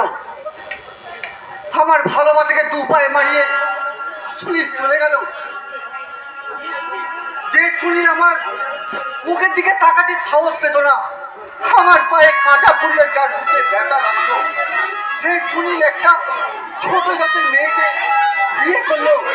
না না না আমি কিছুতেই বিশ্বাস করতে পারছি না। মিথ্যে মিথ্যে। সমাজ আত্মীয়জন বন্ধু বান্ধব আমার দিকে বিরাটি চিরে তাকিয়ে আছে। আমার আমার ছেলে একটা ছোট জাতের মেয়েকে বিয়ে করেছে বলে। করবি করবি আমি মহেশ। কি চাই এখানে? বোনের বিয়েতে কিছু দিতে পারিনি তাই মায়ের বাসনগুলো তোলা ছিল। সেগুলো যৌতুক হিসাবে দিতে এসেছি লজ্জা করে না তোমার? সেগুলো নিয়ে বাড়িতে আসতে কি বলছেন আপনি? যা বলছি বোঝার বয়স তোমার নিশ্চয়ই হচ্ছে।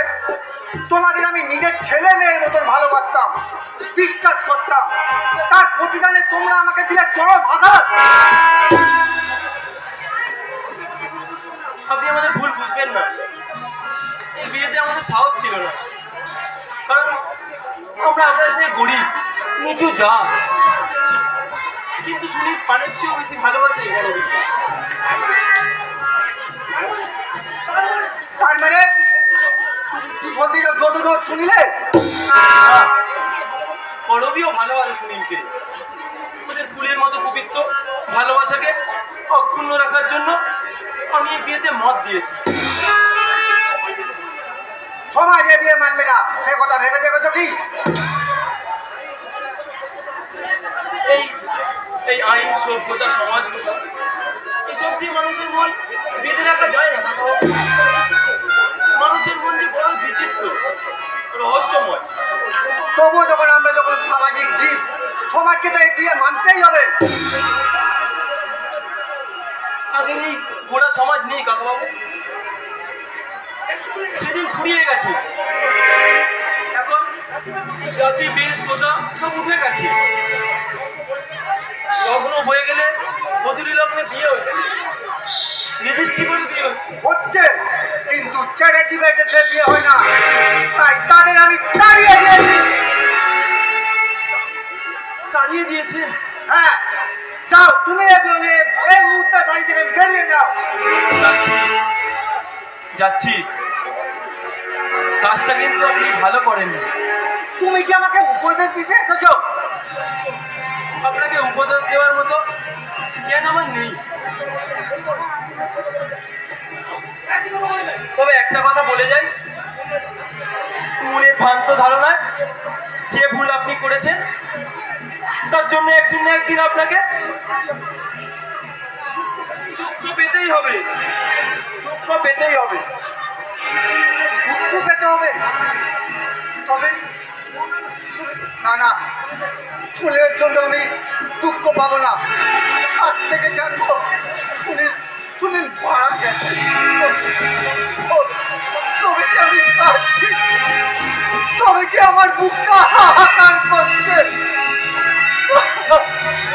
সুনীল আমার কেউ না। সুনীল আমার কেউ না।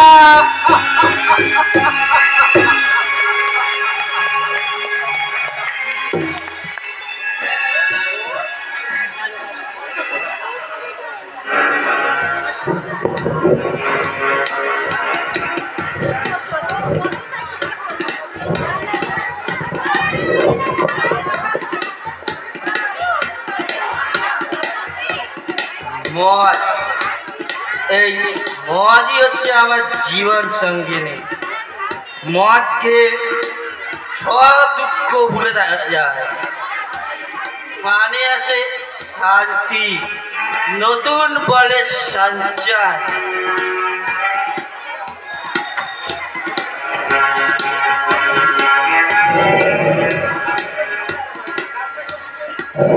ডাক্তারি ওষুধের সারা যে কাজ করে না এই মদে তা করে। মদকে খুন ডাকাতি রাজানি সব কিছু করা যায়। সব কিছু। কিরে তুই এখনও মদ খাচ্ছিস অমৃতে আবার অরুচি? নাও নাও ওস্তাদ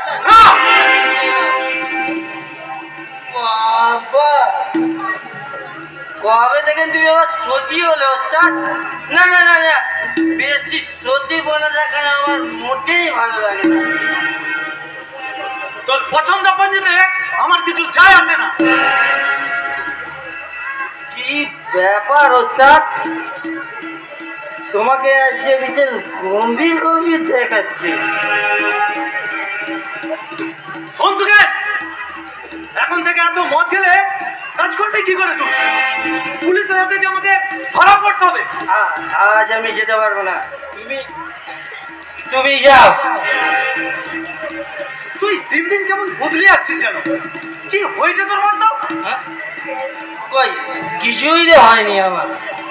দিব্যি দিন রাত পেট পুরে মদ খাচ্ছি আর মনের আনন্দে যাচ্ছি আমার কোনো চিন্তা ভাব। জানো? জানো জানো আমার আমার মতো সুখী বোধ এই পৃথিবীতে আর কেউ নেই। আর কেউ নেই। তোর চোখে জল? তুই কাঁদছিস তোকে জানো জানো? মাঝে মাঝে আমার মনে হয় এই সারা পৃথিবীটাকে আমি আজকে মেরে ঘুরিয়ে কিন্তু পারি না পারি না। এই অসহ্য যন্ত্রণাটাকে আমি বুকের মধ্যে চেপে ধরে রাখতে পারি না। তাই তো তাই তো আমি সুখে আজকে সব কিছু ভুলে রাখতে চাই। সুখে? তুমি জানো তো জানো আজকে রোজগারের টাকা দিয়ে আমি ওই পতিতালয়ে গিয়েছিলাম বল বল তুই কেন গিয়েছিলিস ওখানে? এই নোংরা জায়গায় তুই কেন গিয়েছিলিস সুখে আমি আমি আমার মা খুঁজতে গিয়েছিলাম ওস্তাদ আমার মাকে খুঁজতে গিয়ে। কি হচ্ছে সুখে আ- আমি জানি কোনো মা তার তৈরি খিদে মেটাতে আমার মতন এই অবাধ্য সন্তানের জন্ম দেয়। আর তার তার কোনোদিন ভদ্র সমাজে হয় না। তার তার ওই পতিতা হয় তাই তো তাই তো আমি টাকা নিয়ে প্রত্যেক দিন ওই পতিতালয়ের দরজায় গিয়ে মাথা ঢুকে কেঁদেছি মা মা বলে কত কেঁদেছি। কিন্তু কিন্তু পুরো মায়ের বুকে আমার কান্না একটু আচরের দাগ কাটতে পারেনি, ওস্তাদ। পারেনি। ওরে সুখে তোকে আমি মানুষ করার জন্য আমি কত বড় স্কুলে ভর্তি করেছিলাম। তুই ক্লাসের ভালো ছাত্র হয়েও তুই লেখাপড়া করলিনি। সঙ্গ দোষে তোর? ওস্তাদ ব্রিলিয়ান স্টুডেন্ট হয়েও চোরের চুপি বসে থাকতাম ওই ক্লাসের লাস্ট বেঞ্চে আর সকলে আমার দিকে উপহাসে দুধকার চুড়ে বলতো, ওই ছেলেটি রাস্তায় ডাস্টবিনে পড়ে থাকা, একটা মাস্টার পারি না।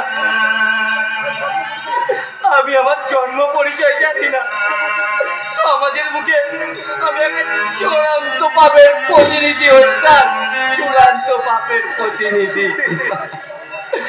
মানুষ জাতির চরম লজ্জা। ওরে সুখে জানো জানো? আমার আমার জন্মলগ্নে কোনো মা হয়তো শঙ্করধ্বনি করেনি। কোনো মা হয়তো উলুধ্বনি করেনি। কোনো মা হাসি খুশিতে আমাকে বিদায় দেয়নি। তাই তো চোরের মতন এই পৃথিবীতে এসেছি। তাই চোরের মতন লুকিয়ে লুকিয়ে এই পৃথিবী ছেড়ে চলে যাব। না!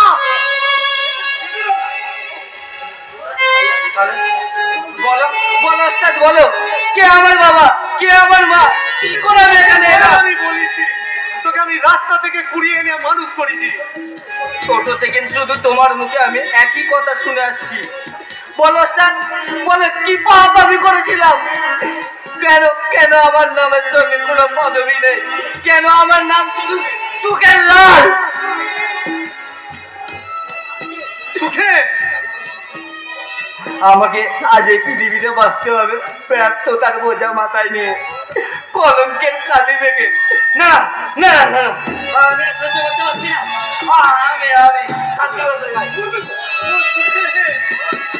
আচ্ছা সুখে।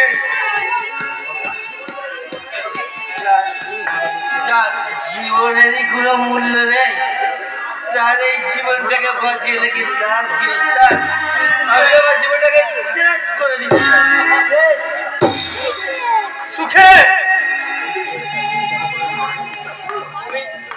তুমি সুখে? আমি- তোকে বোঝাতে পারব না রে সুখে কি অসহ্য যন্ত্রণায় আমি দিবা রাত্রি জ্বলে পুড়ে ছাড়কার হয়ে যাচ্ছি। ও কিছু নয়। আমি কলকাতা শহরের তার সৃষ্টিকারী গুন্ডা পরেশলাল বিমতির মতো নির্মম সূর্যের মতো কঠিন। আমার আমার চোখে জল, আমার চোখে জল শোভা পায় না। আমার চোখে জল শোভা পায় না। আমার চোখে জল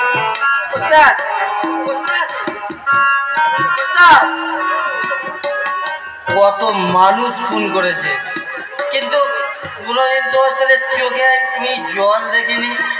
তবে কি ওস্তাদ কিছু গোপন রাখতে চাইছে? আমাকে তীক্ষ্ণ দৃষ্টিতে নজর রাখতে হবে। কি সেই গোপন রহস্য?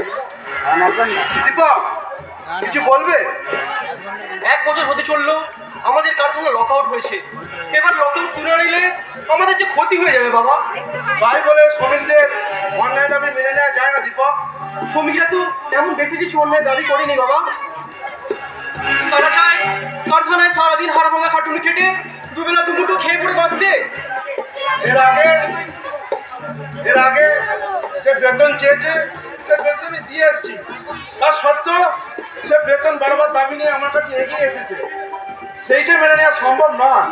একটু চিন্তা করে দেখো বাবা। আজ থেকে পনেরো বছর আগে তারা যে বেতন পেয়েছে সেই বেতন যদি তারা এখনও পায় তাহলে তাদের চলবে কি করে? কারণ জিনিসপত্রের দাম তো দ্বিগুণ হয়েছে। সেটা দেখার বিষয় আমার নয় দীপক। বাবা তুমি তাদের মালিক। তাদের সুখ দুঃখের কথা তুমি চিন্তা করবে না তো? কে করবে? শ্রমিকদের চিন্তা করার মতন সময় আমার নেই। তোমার কাছে আমার অনুরোধ বাবা। নিয়ে চার মাসের বকেয়া বেতন তুমি তাদের মিটিয়ে দাও শ্রমিকদের জন্য এক বছর কা- এ, কারখানা লকার হয়েছে আমার। এই এক বছরে দশ হাজার কোটি টাকা ক্ষতি হয়েছে। বেকিয়া বেতন আমি দিতে পারব না। তুমি কি বলছো বাবা? যা ঠিক তাই বলছি। না বাবা না। এমন এমন ভুল তুমি করো না। শ্রমিকদের বুকে রক্ত জল করা পয়সা নিয়ে আমাদের আমাদের সুখ হবে না বাবা, আমাদের সুখ হবে না।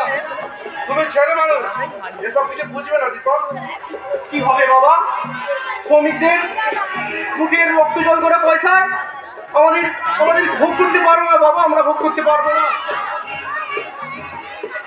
দুবেলা দু মুঠো খাবার জন্য তাদের চোখে জল ফেলছে। তাদের দেহ অভিশাপ।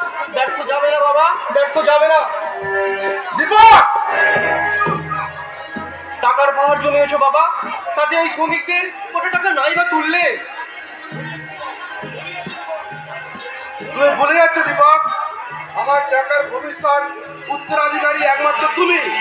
চাই না চাই না ওই বাপের টাকা ভোগ করতে। তোমার ওই সিন্ধুকে টাকা নেই বাবা। আজ শুধু হাজার হাজার নিরন্ন শ্রমিকের চোখের জল।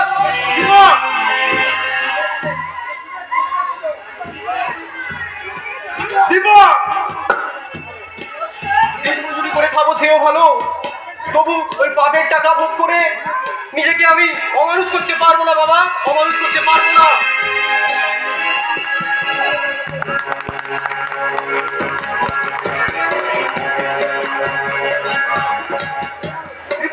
ছেলে মানুষ এসব কিছু বুঝবে না। যার টাকা আছে তার আছে মান সম্মান আর যার টাকা নেই তার কিছুই নেই। এই পনেরো বছর আগে কোনো গাড়ি মুখার্জিকে লোকে কেউ চিনত না। কিন্তু আজ এই শহরে আবল বৃদ্ধ বিনিতার মুখে মুখে শোনা যায় কোনো গাড়ি মুখার্জির নাম।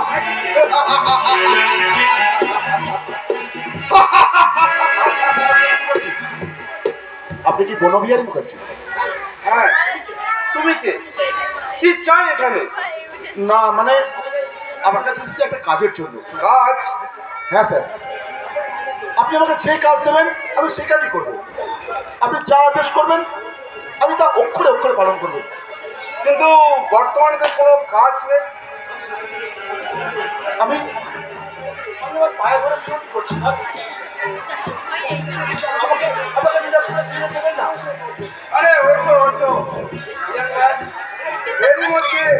অপারেশনে চলবে না।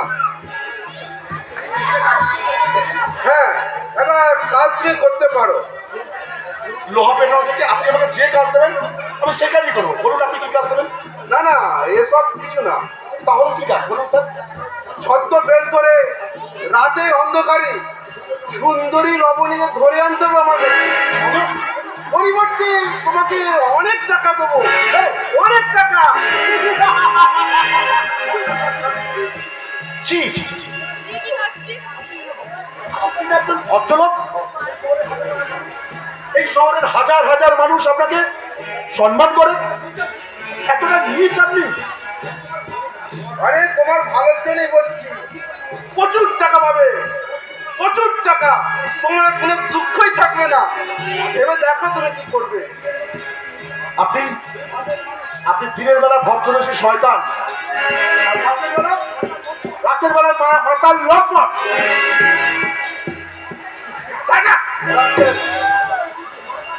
মাতালয় ঠিকই কিন্তু রাস্তা রাস্তা মাতানি করে আমি বেড়াই না। আপনি লোক সমাজের অন্তরালে মদ- মদ খেয়ে মাতলামি না করে রাতের রাতের বেলা মেয়ের বয়সী মেয়েদেরকে সঙ্গ দিয়ে আপনি ওদের ইজ্জত লুট করেন। তাই না বলো বিহারি বাবু? রাজকেল কে রাজকেল আমি? না আপনি যে সুন্দরী মেয়েদের ধরে নিয়েছে ইজ্জত নষ্ট করে। আমি হলাম লম্পট বাহ বাহ বাহ বাহ বাহ বাহ বাহ বাহ বাহ বেশ ভালো বলেছেন তো আপনি বেরিয়ে যান বেরিয়ে এখান থেকে যাচ্ছি যাচ্ছি যা- যাচ্ছি তো যাবার সময় আপনাকে আমি একটা কথা বলে যাই কোনো বিহারি মুখার্জি আপনার এই শয়তানি মুখোশ আমি তারও স্বরে চিৎকার করে জনগণের মাঝে বলে বলব বনবিহারী মুখার্জি একটা গেট আউট আচ্ছা যাচ্ছি যাচ্ছি। কাক যতই ময়ূরী পুচ্ছ করুক সে আসলে কাকই।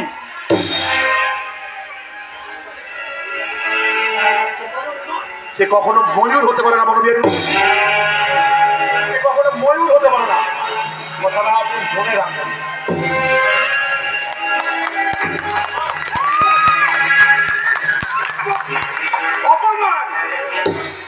ঘোর অপমান। শুধু পকেটে পিস্তলটা নেই বলে। বুঝিয়ে দিতাম, আমাকে অপমান করার ফল কতটা ভয়ঙ্কর। কতটা কঠিন।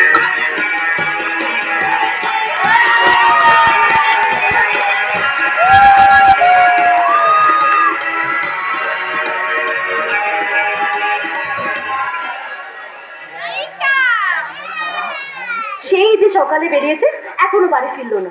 কত করে বললাম কলকাতায় নতুন এসেছি রাতে রাস্তায় এরকম করে ঘোরাফেরা করুন কিন্তু কে শোনে কার কথা? কি কথা করবি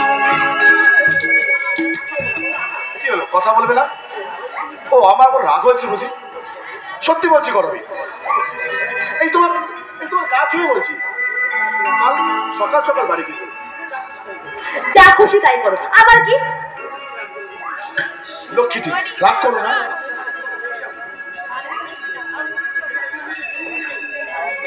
বিশ্বাস করো করো চাকরির জন্য রাস্তায় কুকুরের মতো হন্য হন্য ঘুরে বেরিয়েছি কখন যে নটা বেজে গেছে আমার খেয়ালই নেই। আচ্ছা তোমার কাজের কি হলো? অফিসের দরজায় দরজায় মাথা ঢুকিয়েছে।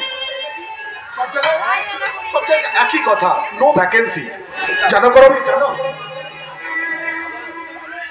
আমি যদি কোনো এমএলএ আত্মীয় বা চামচে হতাম তাহলে আমি চাকরি পেতাম। এই এই এই শিক্ষিত সমাজে শিক্ষার কোনো মূল্য নেই করবি শিক্ষার ধৈর্য ধরো ধৈর্য ধরো।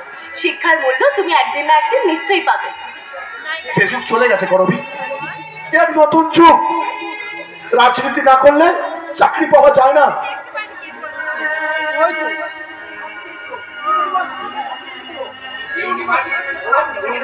ইউনিভার্সিটির সার্টিফিকেটগুলো আমাকে দিয়েছে মুটেগিরি করার জন্য। কি বলছো? মুটেগিরি করতে আমি স্টেশন গিয়েছিলাম করবি কিন্তু কিন্তু কাউকে আমি মুখ ফুটে বলতে পারলাম না। একটা ভোট আমাকে দিন। আমার আমার শিক্ষিত বিবেকটা আমার গলাটা চেপে ধরলো। তুমি? তুমি মুটেগিরি করতে গিয়েছিলে? হ্যাঁ করবি হ্যাঁ। শেষ পর্যন্ত আমাকে তো তাই করতে হবে। না গো না। মানছি আমাদের সংসারে অভাব আছে। কিন্তু কিন্তু তুমি অভাবের কাছে নিজের শিক্ষা মান সম্মান এভাবে বিসর্জন দিও না। যে শিক্ষায় পেটের ভাত চটে না পরনের কাপড় চটে না মাথায় তেল জোটে না। সে শিক্ষার মান আঁকড়ে পড়ে থেকে কি লাভ করবে তাই বলে তুমি মুটেগিরি করবে? পেটের জ্বালায় মানুষ যখন অস্থির হয়ে ওঠে তখন কোনো তখন কোনো বাধা মানে না করবি পকেটের শেষ সম্বল দশটা টাকা ছিল। তাই যে তোমার জন্য একটা রুটি কিনে নিয়েছি করবি এই রুটিটা খেয়ে আজকে আমাদের দুজনকে রাত কাটাতে হবে করবি না। গো না আমাকে পেটটা ভর্তি আছে। তুমি আজকে খাও আমি আজকে কিছু খাব না গো। করবি এইভাবে আমাকে না তুমি না খেয়ে নিজেকে আমাকে খাইয়ে আর কতদিন বাঁচবে করবি আচ্ছা করবি এই বস্তি বাড়িতে থাকতে তোমার কোনো অসুবিধা হচ্ছে না তো? না গো আমার কোনো কষ্ট হচ্ছে না। তোমাকে দুবেলা পেটে আমি ভাত দিতে পারিনি। পরনে ভালো কাপড় দিতে পারিনি। তোমার জীবনটাকে আমি দুর্বিষহ করে তুলছি। তোমার এই অকর মান্য স্বামীকে তুমি অভিশাপ দাও করবি তুমি অভিশাপ দাও। এমন কথা তুমি বলো না গো। মানছি আমাদের দুঃখের সংসার, কিন্তু এই দুঃখের সংসারে শত দুঃখ আসা সত্ত্বেও সেই দুঃখ যে আমি গ্রাহ্য করি না।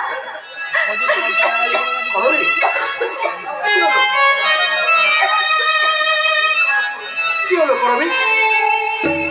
দেখি তোমার যে গায়ে জলে পুড়ে যাচ্ছে। আরে আরে না গো। না আমার কিছু হয়নি গো। ও সামান্য জ্বর হয়েছে। তাকে দেখানোর সামর্থ্য আমার ভগবান! আমার মুখ থেকে তুমি ছিনিয়ে নিও না। আমার মুখ থেকে ছিনিয়ে নিও না।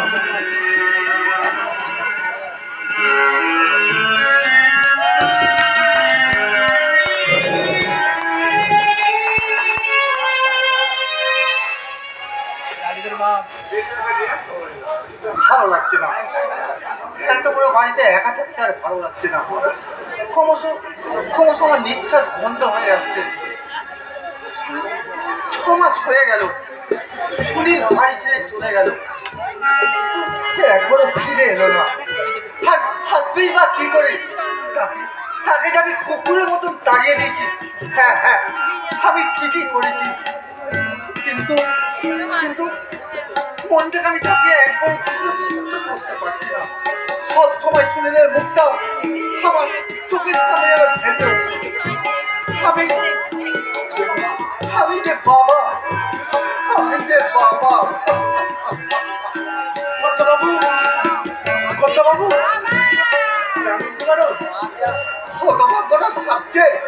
আমাকে খুব জব্দ করেছে। কিন্তু না, সে মোটেই আমাকে জব্দ করতে পারেনি। এটি আপনার মনের কথা, কর্তাবাবু? তা নয় তো কি? আমি কথা বলছি নাকি?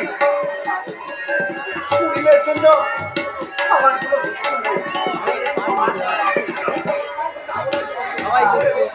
তাহলে রোজ রাতে ঘুমের ঘরে বড় কুমার বাবু, বড় বড় খোকা বাবুর চিন্তা করে আপনি সেটাও কি মিথ্যে? আমি জানি। বড় পক্ষ বাড়িতে চলে যাবার পর আজ পর্যন্ত আপনি একটা রাতিও ঘুমাতে পারেননি। সব সময় বড় বাবুর ছবিটা বুকে আঙিয়ে নিয়ে দেখছেন আর দু চোখে জলে বুক ভাসিয়ে ফেলছেন। আচ্ছা তোর কোথায় আছে তুই আমি কেমন করে জানব? তবে চুপ করে গেলি কেন? বল। না মানে ছোট বাবু বাড়িতে আসার পর সেই কদিন ছেড়েই সে বড় খোকাবাবুর খুঁজে বেরোচ্ছে। সেই আজও সকালে বেরিয়েছে। যাবে না? নিশ্চয় যাবে। রক্তের সম্পর্ক, জানি জন্য বুকটা আমার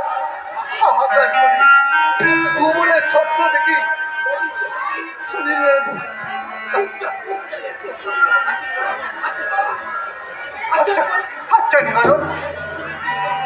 সুনীল কি সত্যি আমাকে ভুলে গেছে?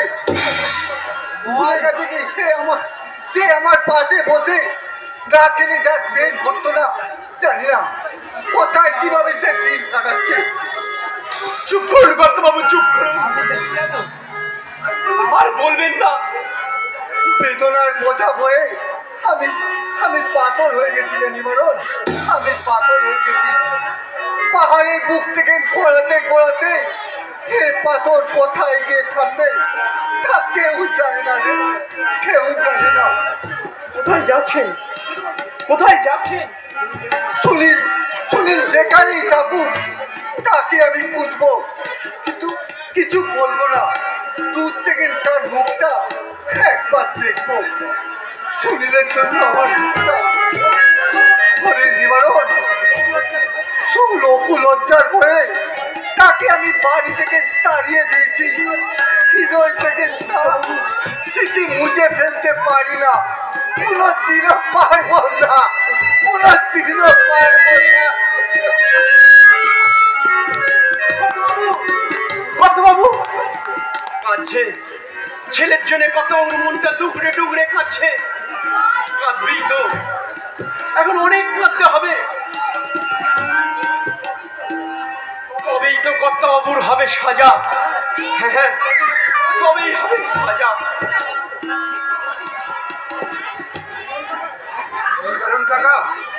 পেলে? পেলে খোকাবাবু বড় খোকাবাবুর কোনো খোঁজ পেলে? না নিবারণ কাকা। আমি পেলাম না। পাবে না। সে বড় অভিমানী। কর্তাবাবুর ওপর অভিমান করে সে অনেক দূর চলে গেছে। হয়তো আর কোনোদিনও সে এই বাড়িতে আসবে না। ভগবান আমি তোমার কাছে নিবেদন করব। নিজের জন্য কিছু চাই না। শুধু শুধু তুমি আমার বড় খোকাবাবুকে ফিরিয়ে দাও। শুধু শান্তিতে রেখো। শুধু শান্তি রেখো। শুধু শান্তি।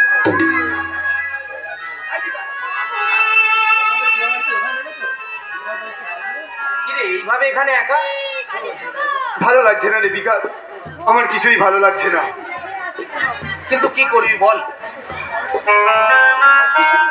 তা আজ কিছু? না রে না আজও আমি আর কোনো কিছু খোঁজ পেলাম না। চেনা জানা সব জায়গাতেই খোঁজ নিয়ে দেখলাম। আমার মনে হয় দাদা কোনো আত্মীয় স্বজনদের বাড়ি আশ্রয় নেয়নি। আমিও তাই ভাবছি রে। কিন্তু আচ্ছা। আচ্ছা এক কাজ করলে হয় না অনিল কি? ওই কলকাতার বস্তিগুলোতে একবার খুঁজে দেখলে হয়তো। সেই চেষ্টাও করেছি রে বিকাশ। কত বড় শহরে। তাদেরকে খুঁজে বের করা যে খুব মুশকিল। তাছাড়া তারা যখন নিজেরাই লুকিয়ে থাকতে চায় হ্যাঁ। কাকা গো কাকাবাবু যে আঘাত দিয়েছেন তাতে তো মনে হয় না তারা এই বাড়িতে আর কোনোদিন ফিরবে। আমি থাকলে হয়তো এতটা বাড়াবাড়ি হতো না রে। বাবাকে বুঝিয়ে সুঝিয়ে আমি ঠিক বাবাকে মানিয়ে নিতে পারতাম। কিন্তু জানিস তো সবকিছু যে এত তাড়াতাড়ি হয়ে যাবে আমি তা ভাবতেই পারিনি।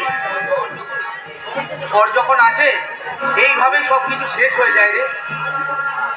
মানুষের কত স্বাদ কত স্বপ্ন হঠাৎ ঝড়ে ভেঙে চুরমার হয়ে যায় রে। এই যেমন ধর আমি আমার বাবাকে যে অকালে হারাবো এ কি আমি কোনোদিন ভেবেছিলাম? বিকাশ সংসারে সবার সব স্বাদ পূর্ণ হয় না রে? আর তাই যদি হতো আমার রোজগারের পয়সায় আমি আমার বাবার স্নেহময় মুখে একটু যদি পথ্য তুলে দিতে পারতাম, কিছুটা শান্তি পেতাম কিছুটা শান্তি পেতাম। বিকাশ!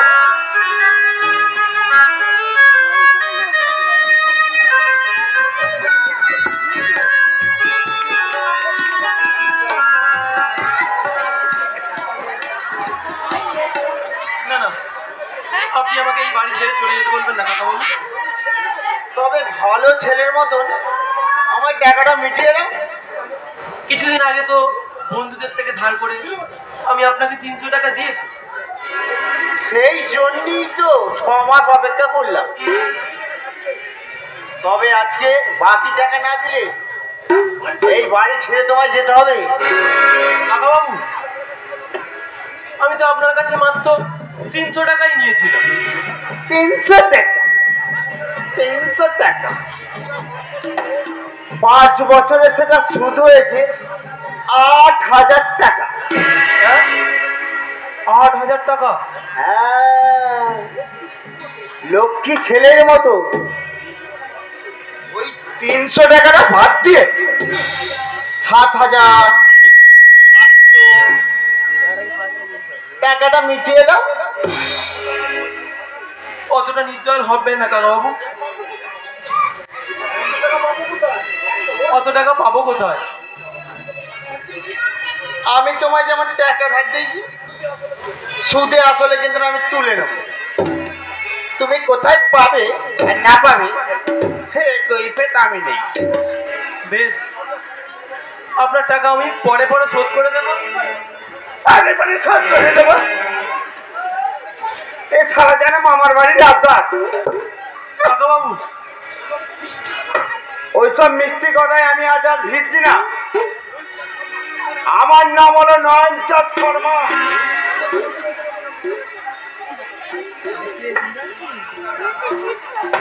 ওই শালা টাকা দাও। নয় বাড়ি ছাড়। আপনি আমার পায়ে ধরে এই চাঁদপুরিদের ভিড়ে থেকে আপনি আমাকে তাড়িয়ে দেবেন না এই এই এই এই পাটা ছাড় ছাড় বলছি শালা পাটা ছাড় হে আমার ধুতি খুলে যাবে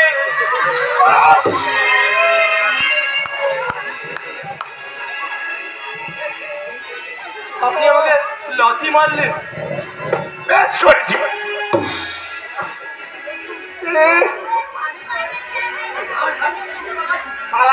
ঘাট ধাক্কা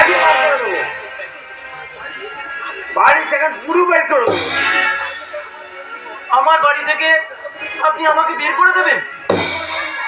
তোমার বাড়ি নহে। রীতিমতন হ্যান্ড নোটে লেখা আছে, এই বাড়িটা আমার। চমৎকার কাকাবু চমৎকার। এইভাবে মানুষকে ঢুকিয়ে আর কতদিন চলবে? আপনি সব আপনি জালিয়াত আপনি শয়তান।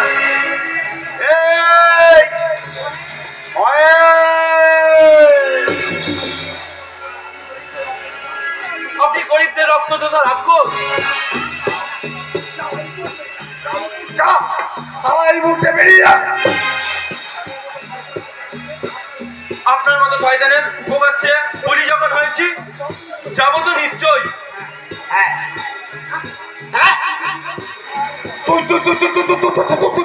কি বললি? আমি সারা শয়তান। শয়তান বললে তো আপনাকে আপনি এক মানুষ নামদারি এক জানোয়ার।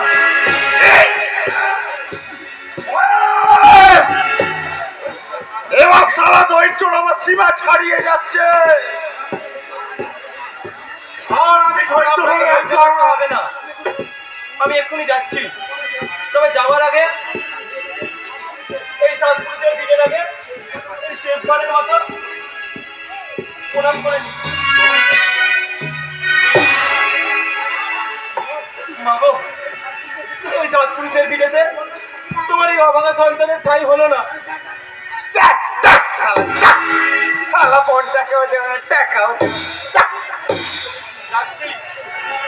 তবে যাওয়ার আগে একটা কথা বলে যাই। যে মিথ্যে হ্যান্ড নোট দেখিয়ে আমার মতো শত গরিবে আপনি কি চড়া করেছেন তার উপযুক্ত শাস্তি এই মানুষের কাছ থেকে না পেলেও ভগবানের কাছ থেকে একদিন পেতেই হবে। ওই ভগবানের কাছ থেকে পেতেই হবে।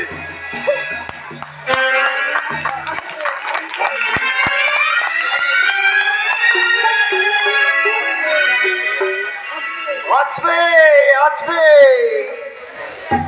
সব এইভাবে গরিবদের ধন সম্পত্তি এই নয়নচাঁদ শর্মার কাছে আসবে।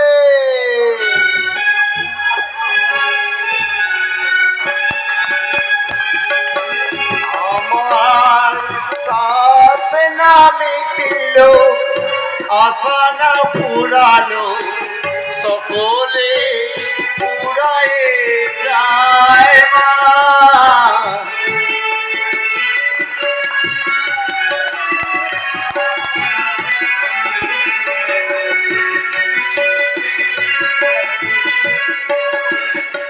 আমার সাথ না মিটিল আশা না পুরালো সকলে পুরায়ে মা মাগো ওই করবীর মতন একটা সুন্দর মেয়ে আমায় দে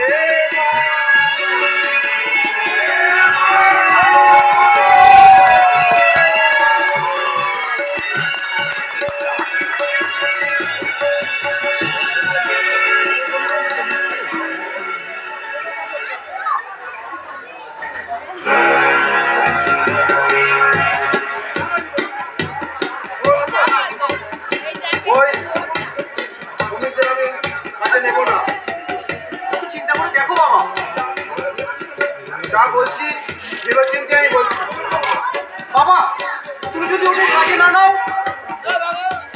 তুমি তোরা আন্দোলন করবে? পিস্তলের গুলিতে সে আন্দোলন থেমে যাবে, দীপক। বাবা না। পিস্তলের গুলিতে তাদের সে আন্দোলন থামবে না। পেটের জ্বালায় মানুষ যখন অস্থির হয়ে ওঠে, তারা তখন পুরো বাধাই করে না। মৃত্যুর কাছে সকলকে বাধা মানতে হয়, দীপক। আর ওরা তো মাত্র শ্রমিক। নিরীহ শ্রমিকদের উপর কি ঠিক হবে, বাবা? সেটা বুঝব আমি? তুমি না নিজের সামান্য স্বার্থের জন্য এই দরিদ্র শ্রমিকদের উপর অভুল তুমি করো না, বাবা, অভুল তুমি করো না। আমি শ্রমিকদের বস্তিতে গিয়ে দেখে এসেছি, দুবেলা দুমুঠো খাওয়ার জন্য তারা কত কষ্ট করছে। একটু ওষুধের অভাবে মৃত্যু হচ্ছে অবধ শিশুদের। দীপক, আমি তোমার পায়ে ধরে মিনতি করছি বাবা। শ্রমিকদের বুকের রক্ত বল করে পয়সা দিয়ে তুমি ভোগ করো না। ছাড়ো দীপক তোমার এই অনুরোধ আমার ভালো লাগে না। তাহলে আমি বাড়ি ছেড়ে চলে যাচ্ছি। কোথায় যাবে? আমার ওই দরিদ্র শ্রমিক ভাইদের কাছে। জানো তাদের নিয়ে তোমার এই অন্যায় আন্দোলনের অন্যায়ের বিরুদ্ধে আমি আন্দোলন করব। তাদের প্রত্যেকের দাঁড়ে দাঁড়ে গিয়ে আমি বলব ওরে অবাকার দল। তোরা আর কত ঘুমাবি? তোরা ওর তোরা যাক সঙ্গবদ্ধ হ। এই অন্যায়ের প্রতিবাদ কর। বিপদ! আগে অনেক ভয় পেয়েছি, কিন্তু আর নয় নয়। ওই সৌমিক জল তুলেছে। এখানে আমি আর থাকতে পারব না। যাও, বেরিয়ে যাও। আজ থেকে তোমার বাড়ির দরজা চিরদিনের মতো বন্ধ। বেশ। আমি এক্ষুনি চলে যাচ্ছি, বাবা। আমি আর কোনোদিন এই বাড়িতে ফিরে আসব না। কেন তোমার এই অবদ্ধতার শাস্তি কি? মৃত্যু? দিব বাবা শ্রমিকদের নিয়ে আমি থাকব। আন্দোলনের প্রথম সারিতে। পারো তো? তোমার ওই পিস্তলের গুলি ছুড়ো আমার বুকে লক্ষ্য করে। তবুও তবুও এ পথ থেকে আমি কোনোদিনও ফিরবো না।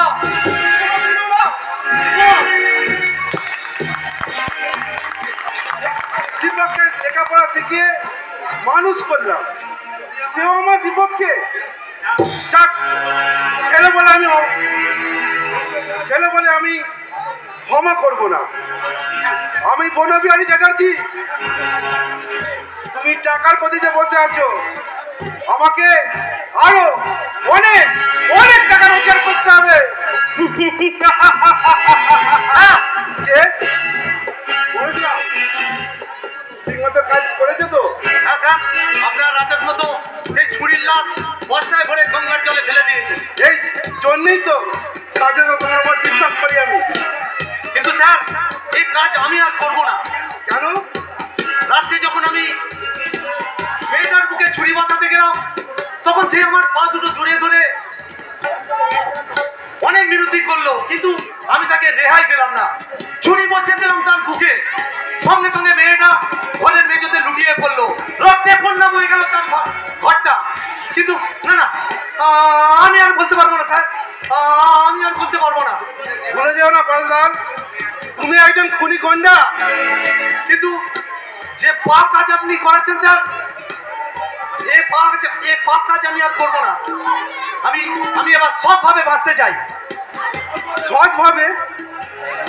বাঁচতে তো তুমি বাঁচতে পারবে না পুলিশ তোমাকে খুঁজে বেড়াচ্ছে। ধরতে পারলে অ্যারেস্ট করবে। না! আমি পুলিশের যেভাবে গোপনে কাজ করে যাচ্ছ, সেভাবে কাজ করে করে যাও। তোমার টাকা।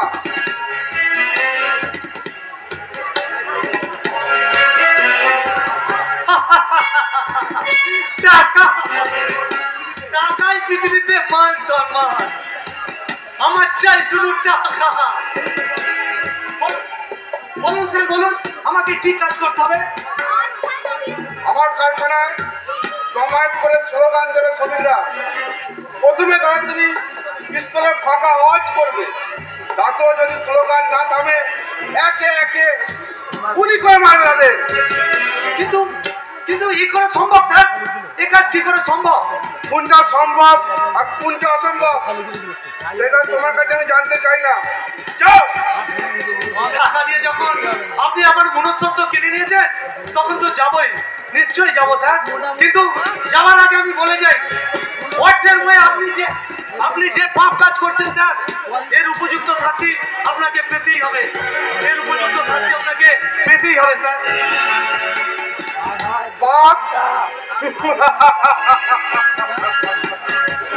এই বনবিহারী চ্যাটার্জিকে শাস্তি দেওয়ার মতো লোক এই পৃথিবীতে জন্মায়নি।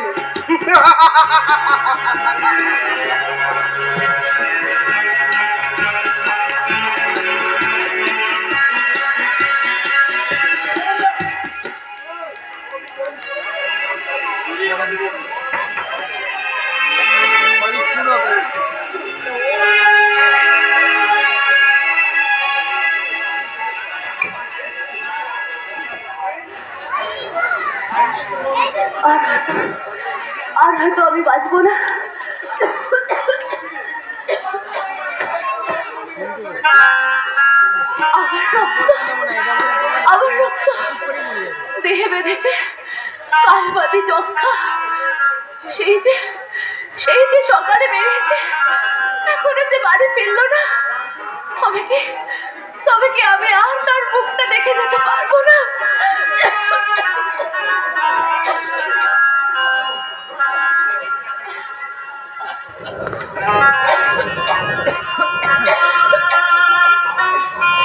আবার তুমি অসুস্থ শরীরে বিছানা ছেড়ে উঠে এসেছ করবি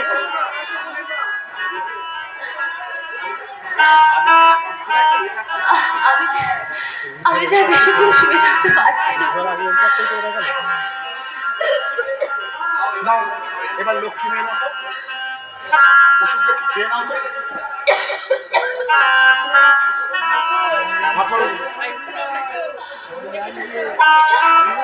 তুমি তুমি পয়সা কোথায় পেলে?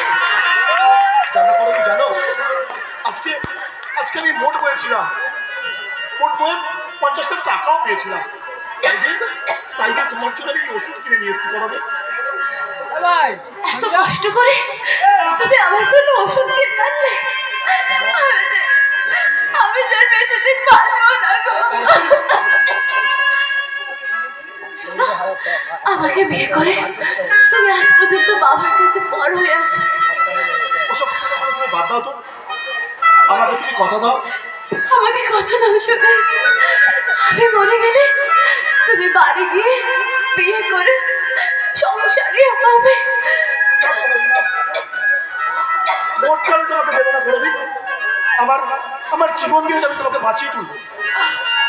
তুমি হা করো হা করো বলছি আর একবার একটু ওষুধ খেয়ে নাও।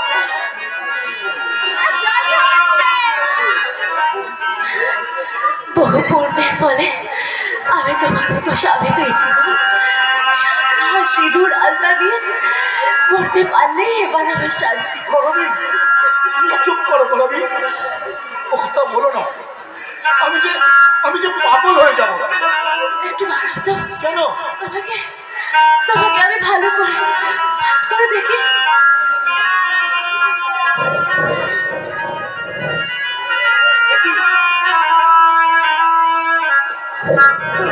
ধুলো মাথায় নিলে আমার যে আর কোনো দুঃখ থাকবে না গো। আমি যে আমার শান্তিতে শান্তিতে মরতে পারব। ভগবান আমি যেন পরে জন্মে এমন স্বামীর স্ত্রী হয়ে স্ত্রী হয়ে সৌভাগ্য স্ত্রীর সৌভাগ্য হয়ে জন্মগ্রহণ করতে পারি ভগবান। করবি করবি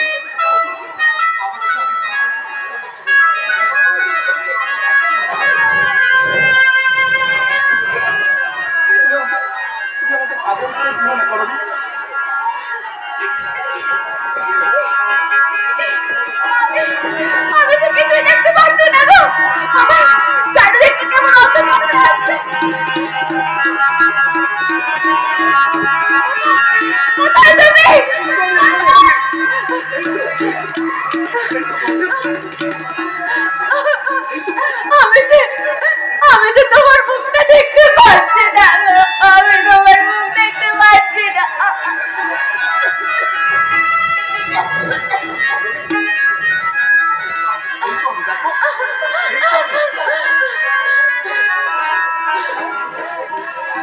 ওপারে যে আমার ডাক চলে এসেছে গো। দেখো দেখো না জম যে আমাকে হাত ডাকছে আমি যে আমি যে বেশিক্ষণ বাঁচতে পারব না। আমি যে আমি যে মরে যাচ্ছি।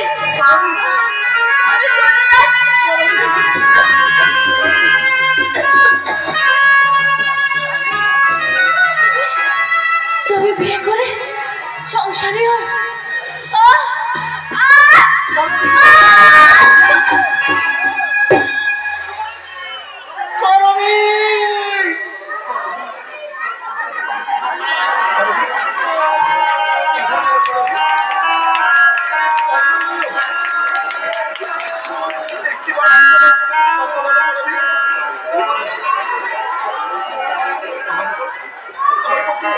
অভিমান করেছ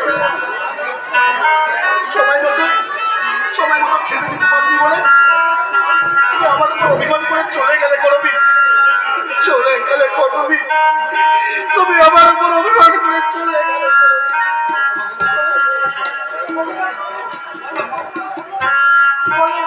বলো। অন্যায় করেছি ভগবান তুমি আমার মানব প্রতিমাকে আমার? কেন কেন কেন?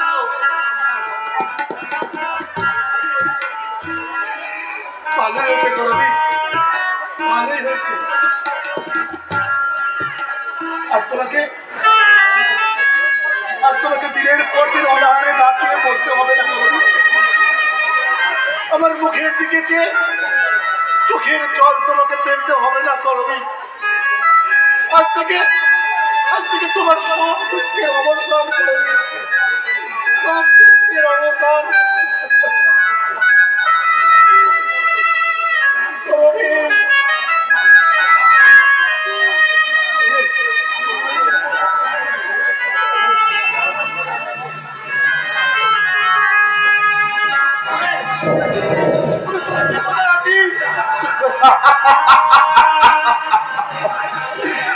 আয়না আয়না আয়না তোরা আয়না আমার আমার মানব প্রতিমা আমাকে ছেড়ে চলে গেছে। আয়না তোরা আয়না আমার আমার মানস প্রতিমার চিন্তায় করে একটু কাঠ দিয়ে যাবি আয়না চলবে। তাও তাও করে চিতা চলবে।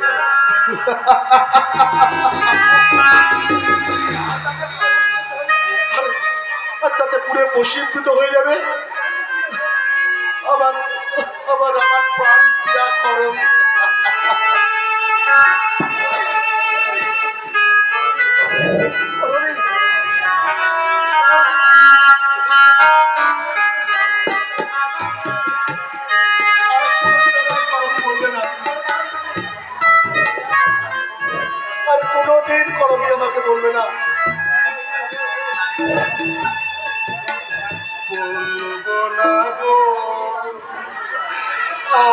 কোনদিন ভালোবাসি যে তোমাকে। বলেছিলে গো ভালোবাসি গো। আজ কেন গো? আমি বলো।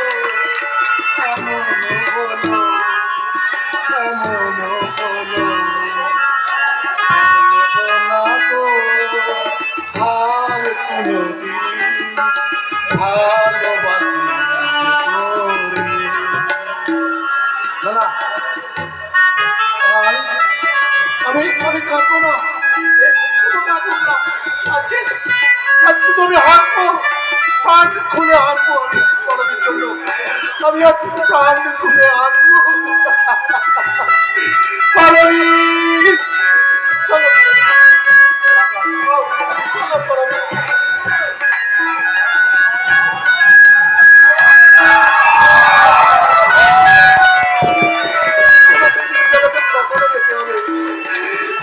তোমার চিতায় যে কাঠ দিতে হবে আজ আমি একটু কাঁদবো না আমি প্রাণ খুলে আসব কি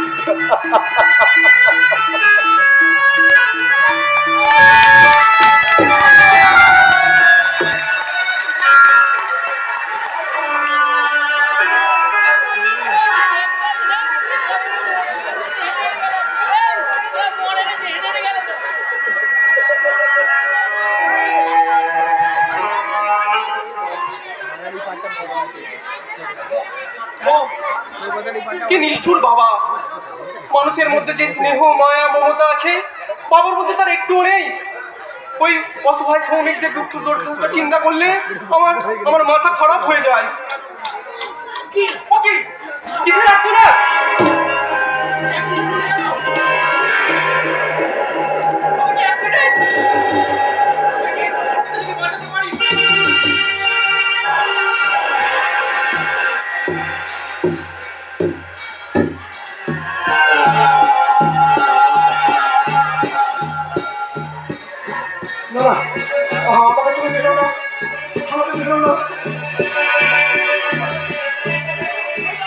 আমি তো আমি তো তোমার কোনো অন্যায় করিনি। আমাকে তুমি বেরো না। কি বলছেন আপনি? আমার আমার করণী যেখানে গেছে আমি আমি সেখানেই চলে যাব। আমাকে তুমি বেরো না। এই অবস্থা তুমি যাবেন কি আমার কাছে আমার কাছে করণী থাকছে আমি ঠিক যাব আমি ঠিক যাব রক্ত পড়ছে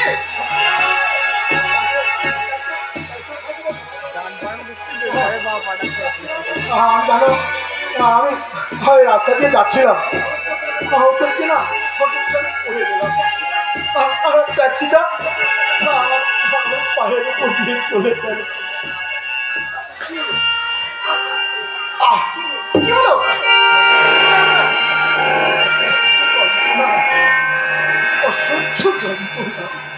চলুন চলুন আপনাকে আমি হাসপাতালে নিয়ে যাই না না না না আমি যাব না এই নিষ্ঠুর পৃথিবীতে আমি যে আমি যে বাঁচতে চাই না আমার আমার করণী একটু আগে যেখানে চলে গেছে আমি আমি আমি সেখানে চলে যাব না দাদা না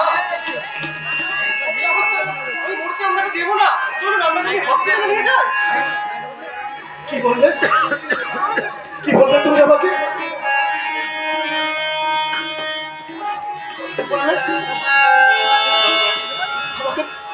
আমাকে তুমি দাদা বললে? কত দিন পর এই দাদা ডাক্তার শুনলাম। জানো জানো ঠিক ঠিক তোমার মতো একটা ভাই ছিল। সেসব কথা পরে শুনব। আমার কাছে ঘর দিয়ে চলুন। আপনাকে আমি হাসপাতালে নিয়ে যাই। চলুন চলুন।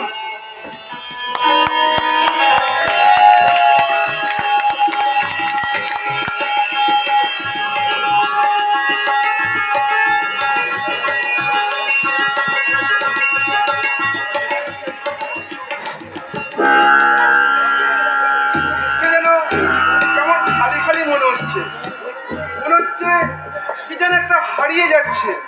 তবে কি?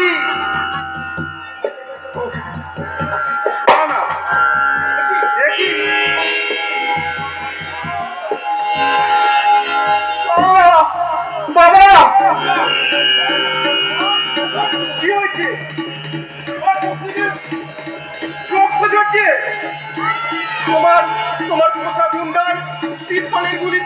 আমার বুকে বিদ্ধ হয়েছে বাবা। দিব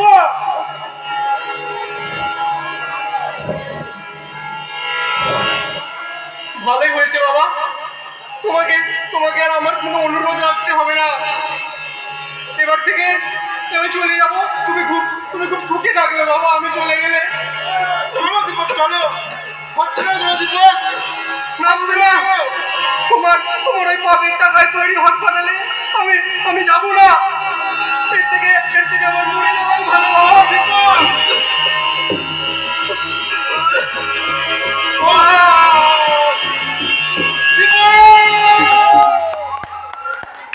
অর্থের ভুল মুক্ত হয়ে আমি কি ভুল করলাম দিব দিব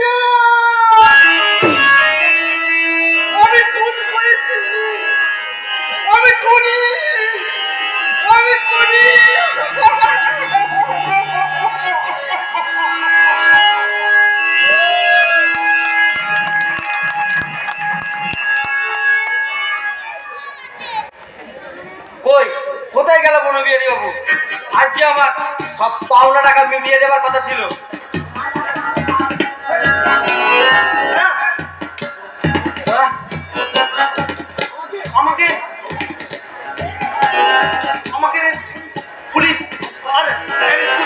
না, স্যার। আমার কাজের চিরদিনের মতো ছুটি হয়ে গেল।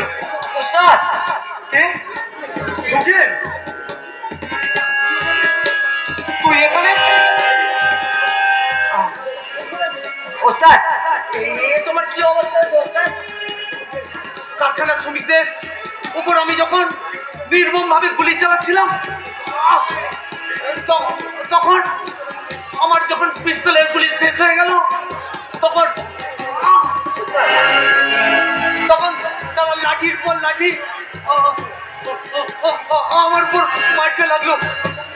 তখন আমি অজ্ঞান হয়ে পড়ে গেলাম। তারা আমাকে তারা আমাকে মৃত মনে করে পাইলে গেল। তখন তারপর আমার জ্ঞান আমি এখানে এখানে আস্তে আস্তে এলাম। আর আমি আর আমি পারব না রে সুখে আর আমি পারব না। তার আগে তার আগে তোকে আমি কিছু জরুরি কথা বলে যেতে চাই। তোকে আমি তোকে আমি রাস্তা থেকে খুঁজে নে মানুষ করিনি রে সুখে তুই যে তুই তুই ভদ্রগণের সন্তান। কি বললে ওস্তাদ? আমি ভদ্রগণের সন্তান? বলো ওস্তাদ বলো বলো? ভদ্রগণের সন্তান। তোকে আমি তোকে আমি মা কালীর মন্দির থেকে চুরি করে এনেছিলাম। কি কি সর্বনাশ তুমি করেছ ওস্তাদ? তুমি আবার কি সর্বনাশ করেছ? আমার আমার জীবনটাকে তুমি শেষ করে দিয়েছ ওস্তাদ শেষ করে দিয়েছ। আমাকে তো ক্ষমা কর আ- আজ সত্যি সত্যি।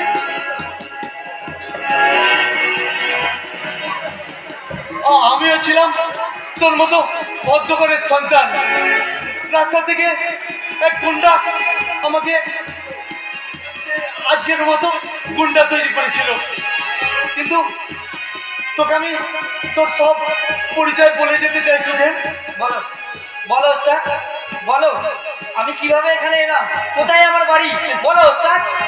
এই কবচের মধ্যে, এই কবচ তোর গলায় ছিল।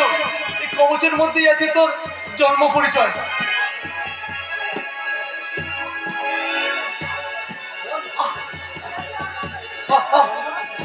বাবার নাম যাদব চ্যাটার্জি।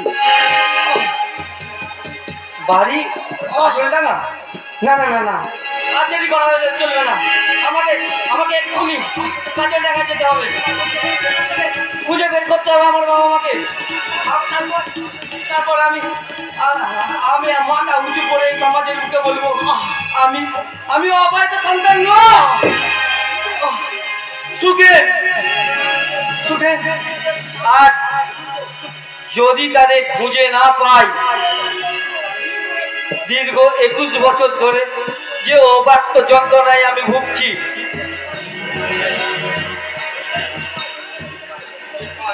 যদি যদি তাদের খুঁজে পাই তাদের নিয়ে আমি আবার মাথা উঁচু করে বাঁচবো। মাথা উঁচু করে বাঁচবো।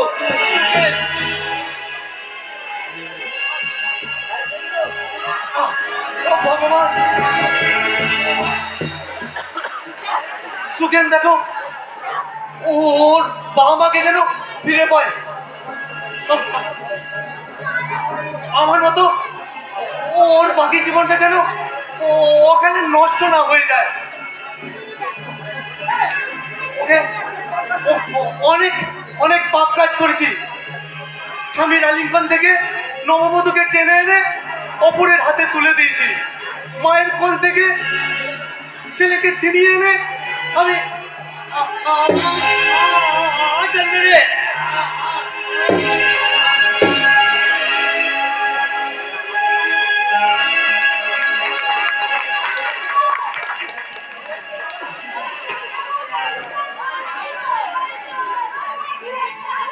এই সময় সব ঘুমড়ে ঘুমড়ে কাঁদলে শরীর যে অসুস্থ হয়ে পড়বে অসুখ। না নিবারণ কাকা আমার শরীর যে লোহা দিয়ে গড়া কোনো অসুখই আমাকে ছুঁতে পারবে না। মানুষের শরীর রক্ত মাংস দিয়ে। কেউ কি বলতে পারে? আনায় আয়নায় গিয়ে শরীরটাকে একবার দেখো। গায়ের রং সোনার মতো রং কালো হয়ে পড়েছে। সময় মতো স্নান না না করে মানুষের শরীর কোনোদিন ভালো থাকতে পারে। আমি সময় মতো খাওয়া দাওয়া করব। আর ওদিকে যে আমার দাদা কোথায় কীভাবে দিন কাটাচ্ছে তা একবার ভেবে দেখেছ নিবারণ কাকা? বাবু আচ্ছা এটা কি যাদব চ্যাটার্জির বাড়ি? হ্যাঁ কোথা থেকে আসছে? কলকাতা থেকে আসছি। আমি বাবাকে ডেকে দেবো? ও আপনি তাহলে যাদব চ্যাটার্জির ছেলে? হ্যাঁ। তার মানে আমার কি হলো? চুপ করে গেলে কেন? না না না না না ও ও কিছু না। আপনার বাবাকে একটু রেখে দেবেন? আচ্ছা ঠিক আছে ঠিক আছে। কি হলো রে কি হলো রে অনিল? কার সঙ্গে কথা বলছি বাবা এই ভদ্রলোক আপনার সাথে দেখা করতে এসেছে। আচ্ছা আচ্ছা দেখুন তো এই কবচটা চিনতে পারেন কিনা? এই খবর এটা খবরের গলায় ছিল। হ্যাঁ। হ্যাঁ এই কবচই তো ছিল। ছোট কঙ্কর গলায় ছিল। এ- এ খবর তুমি কোথায় পেলে? চুপ চুপ করে থাকো না। বলো এই কবচ তুমি কোথায় পেলে? হ্যাঁ হ্যাঁ বাবা। আমি তোমার সেই হারিয়ে যাওয়া খোকন, বাবা। আমি তোমার সেই হারিয়ে যাওয়া খোকন। খোকা বাবু, খোকন। বাবা, আমার আমার বুকে বাবা। বাবা, আমার বুকে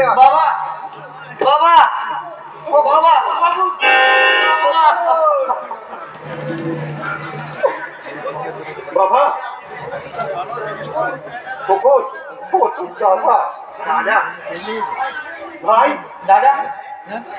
ভাই এই ভাইয়ের একটা শোনার জন্য আমি কতদিন অপেক্ষা করে দেখেছি। ভাই ভাই তুই আয় ভাই দাদা দাদা দাদা।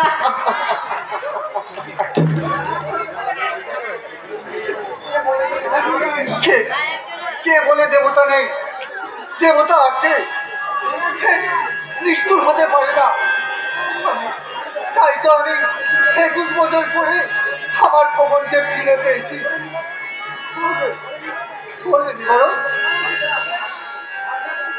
আমার আমার ভাগ্য কাছে এক করে কালো মেঘ জমা হয়েছিল। সেই মেঘ কেটে গিয়ে এখন সূর্য রশ্মি পড়েছে। আপনার অসুস্থ শরীর আপনি চুপ করুন বাবু। কে বলে আমি অসুস্থ আমি সুস্থ হয়ে গেছি নিবারণ আমি সুস্থ হয়ে গেছি। আমার কমলকে ফিরে পেয়ে সুনীল আর বৌমা যেখানেই থাকুক তাকে আমি খুঁজে আনব। আবার ভাঙা সংসার আমি নতুন করে গড়ে তুলবো। বাবা বাবু। আমাদের ছেড়ে থাকতে তোর একুশ বছর প্রচুর কষ্ট আছে তাই না বাবা? কষ্ট হলেও আমি যে তোমাদের ফিরে পেয়েছি এটাতেই আমার খুশি বাবা এটাতেই আমার খুব খুশি। চল নিবারণ চল। মা পুজো দিয়ে আছি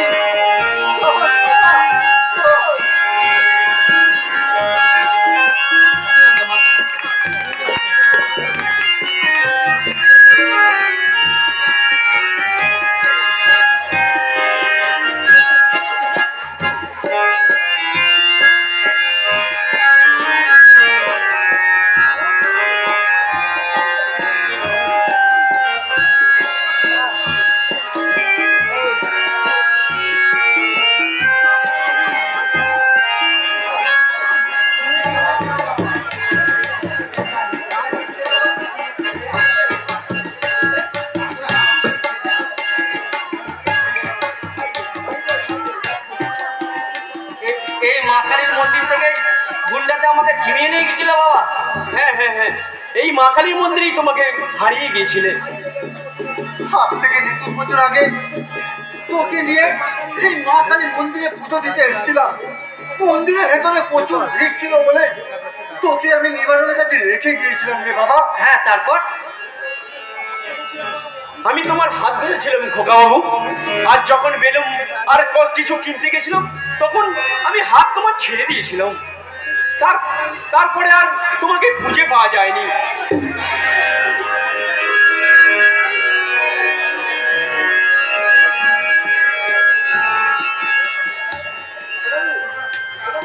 বাবু কিছু করেনি দুটো পয়সা দেবেন বাবু। মা কালী মা কালী আপনাদের মঙ্গল করবে দুটো পয়সা দুটো পয়সা দেন না বাবু।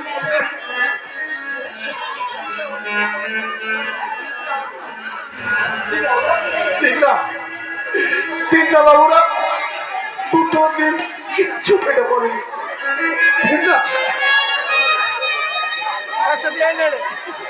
দিন না বাবুরা দিন না মায়েরা দিন না দুটো দিন পেটে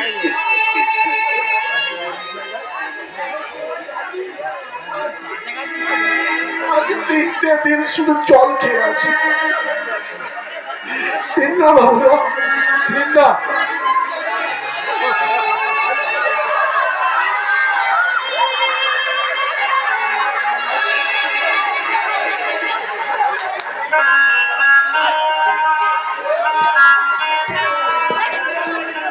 ভগবান ভগবান তোমাদের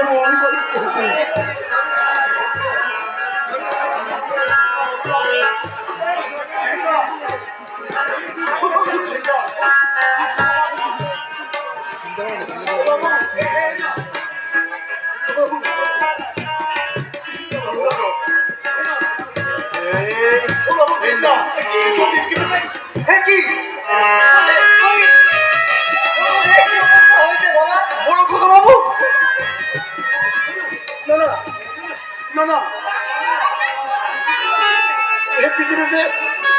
পৃথিবীতে আমার কেউ নেই।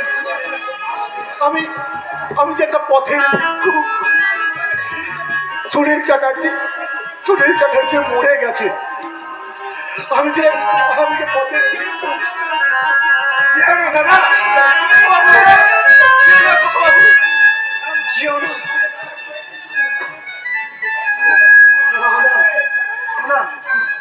আমি আমি এখানে দাঁড়াবো না।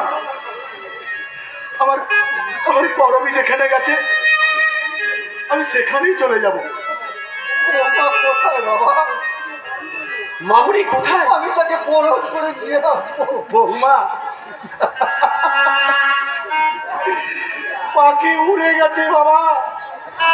খাঁচা করে পাখি উড়ে গেছে। তোমার বৌমা আর কোনোদিন ফিরে আসবেন না বাবা। মামুনি কি হয়েছে? তোমার তোমার বৌমনি তোমার বৌমনি মারা গেছে।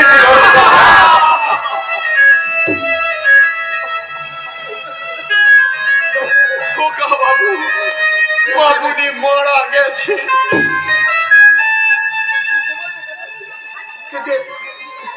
তোমাদের কাছে আর ফিরে আসবে না। কি বললি দাদা? বৌদি নেই। কি ভুল করেছি আমি? আমি আর বৌদিকে দেখতে পেলাম না, দাদা। কি ভুল আমি করেছি?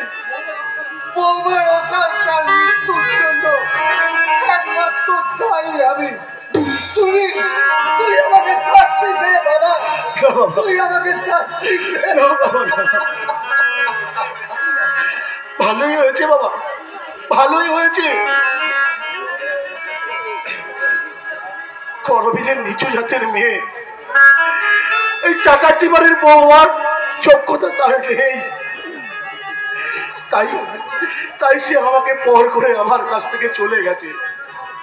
চলো দাদা চলো। এক্ষুনি বাড়ি চলো। একে দমকা ঝড়ে সব দেওয়ার ভেঙে গেছে ভাই। দাদা। শুনি আমার আমার যে মৃত্যুর দিন ঘনিয়ে এসেছে দাদা। বাবু ও কত বাবু।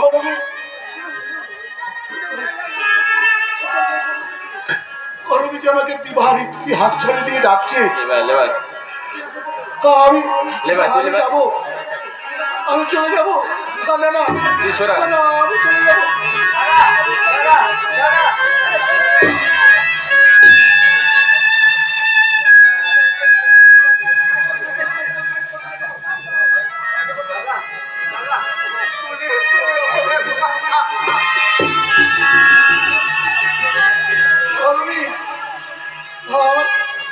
আমার চোখের সামনে। আমার চোখের সামনে তার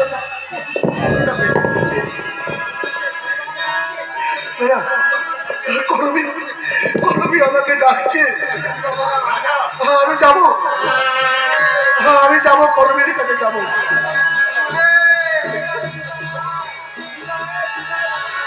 বিদায়।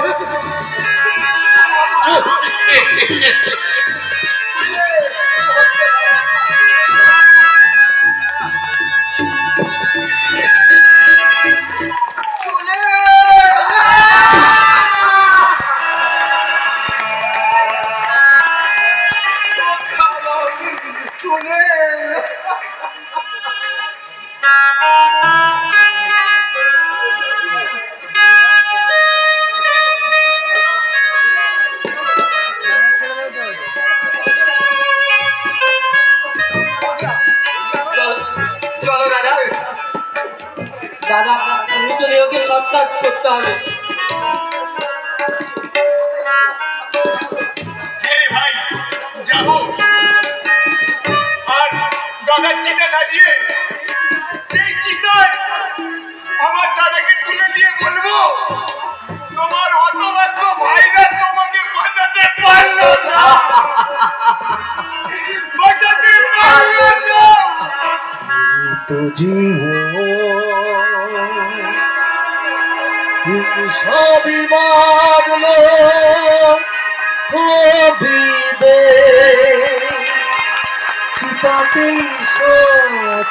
শেষ হয় চিতাতেই সব শেষ এই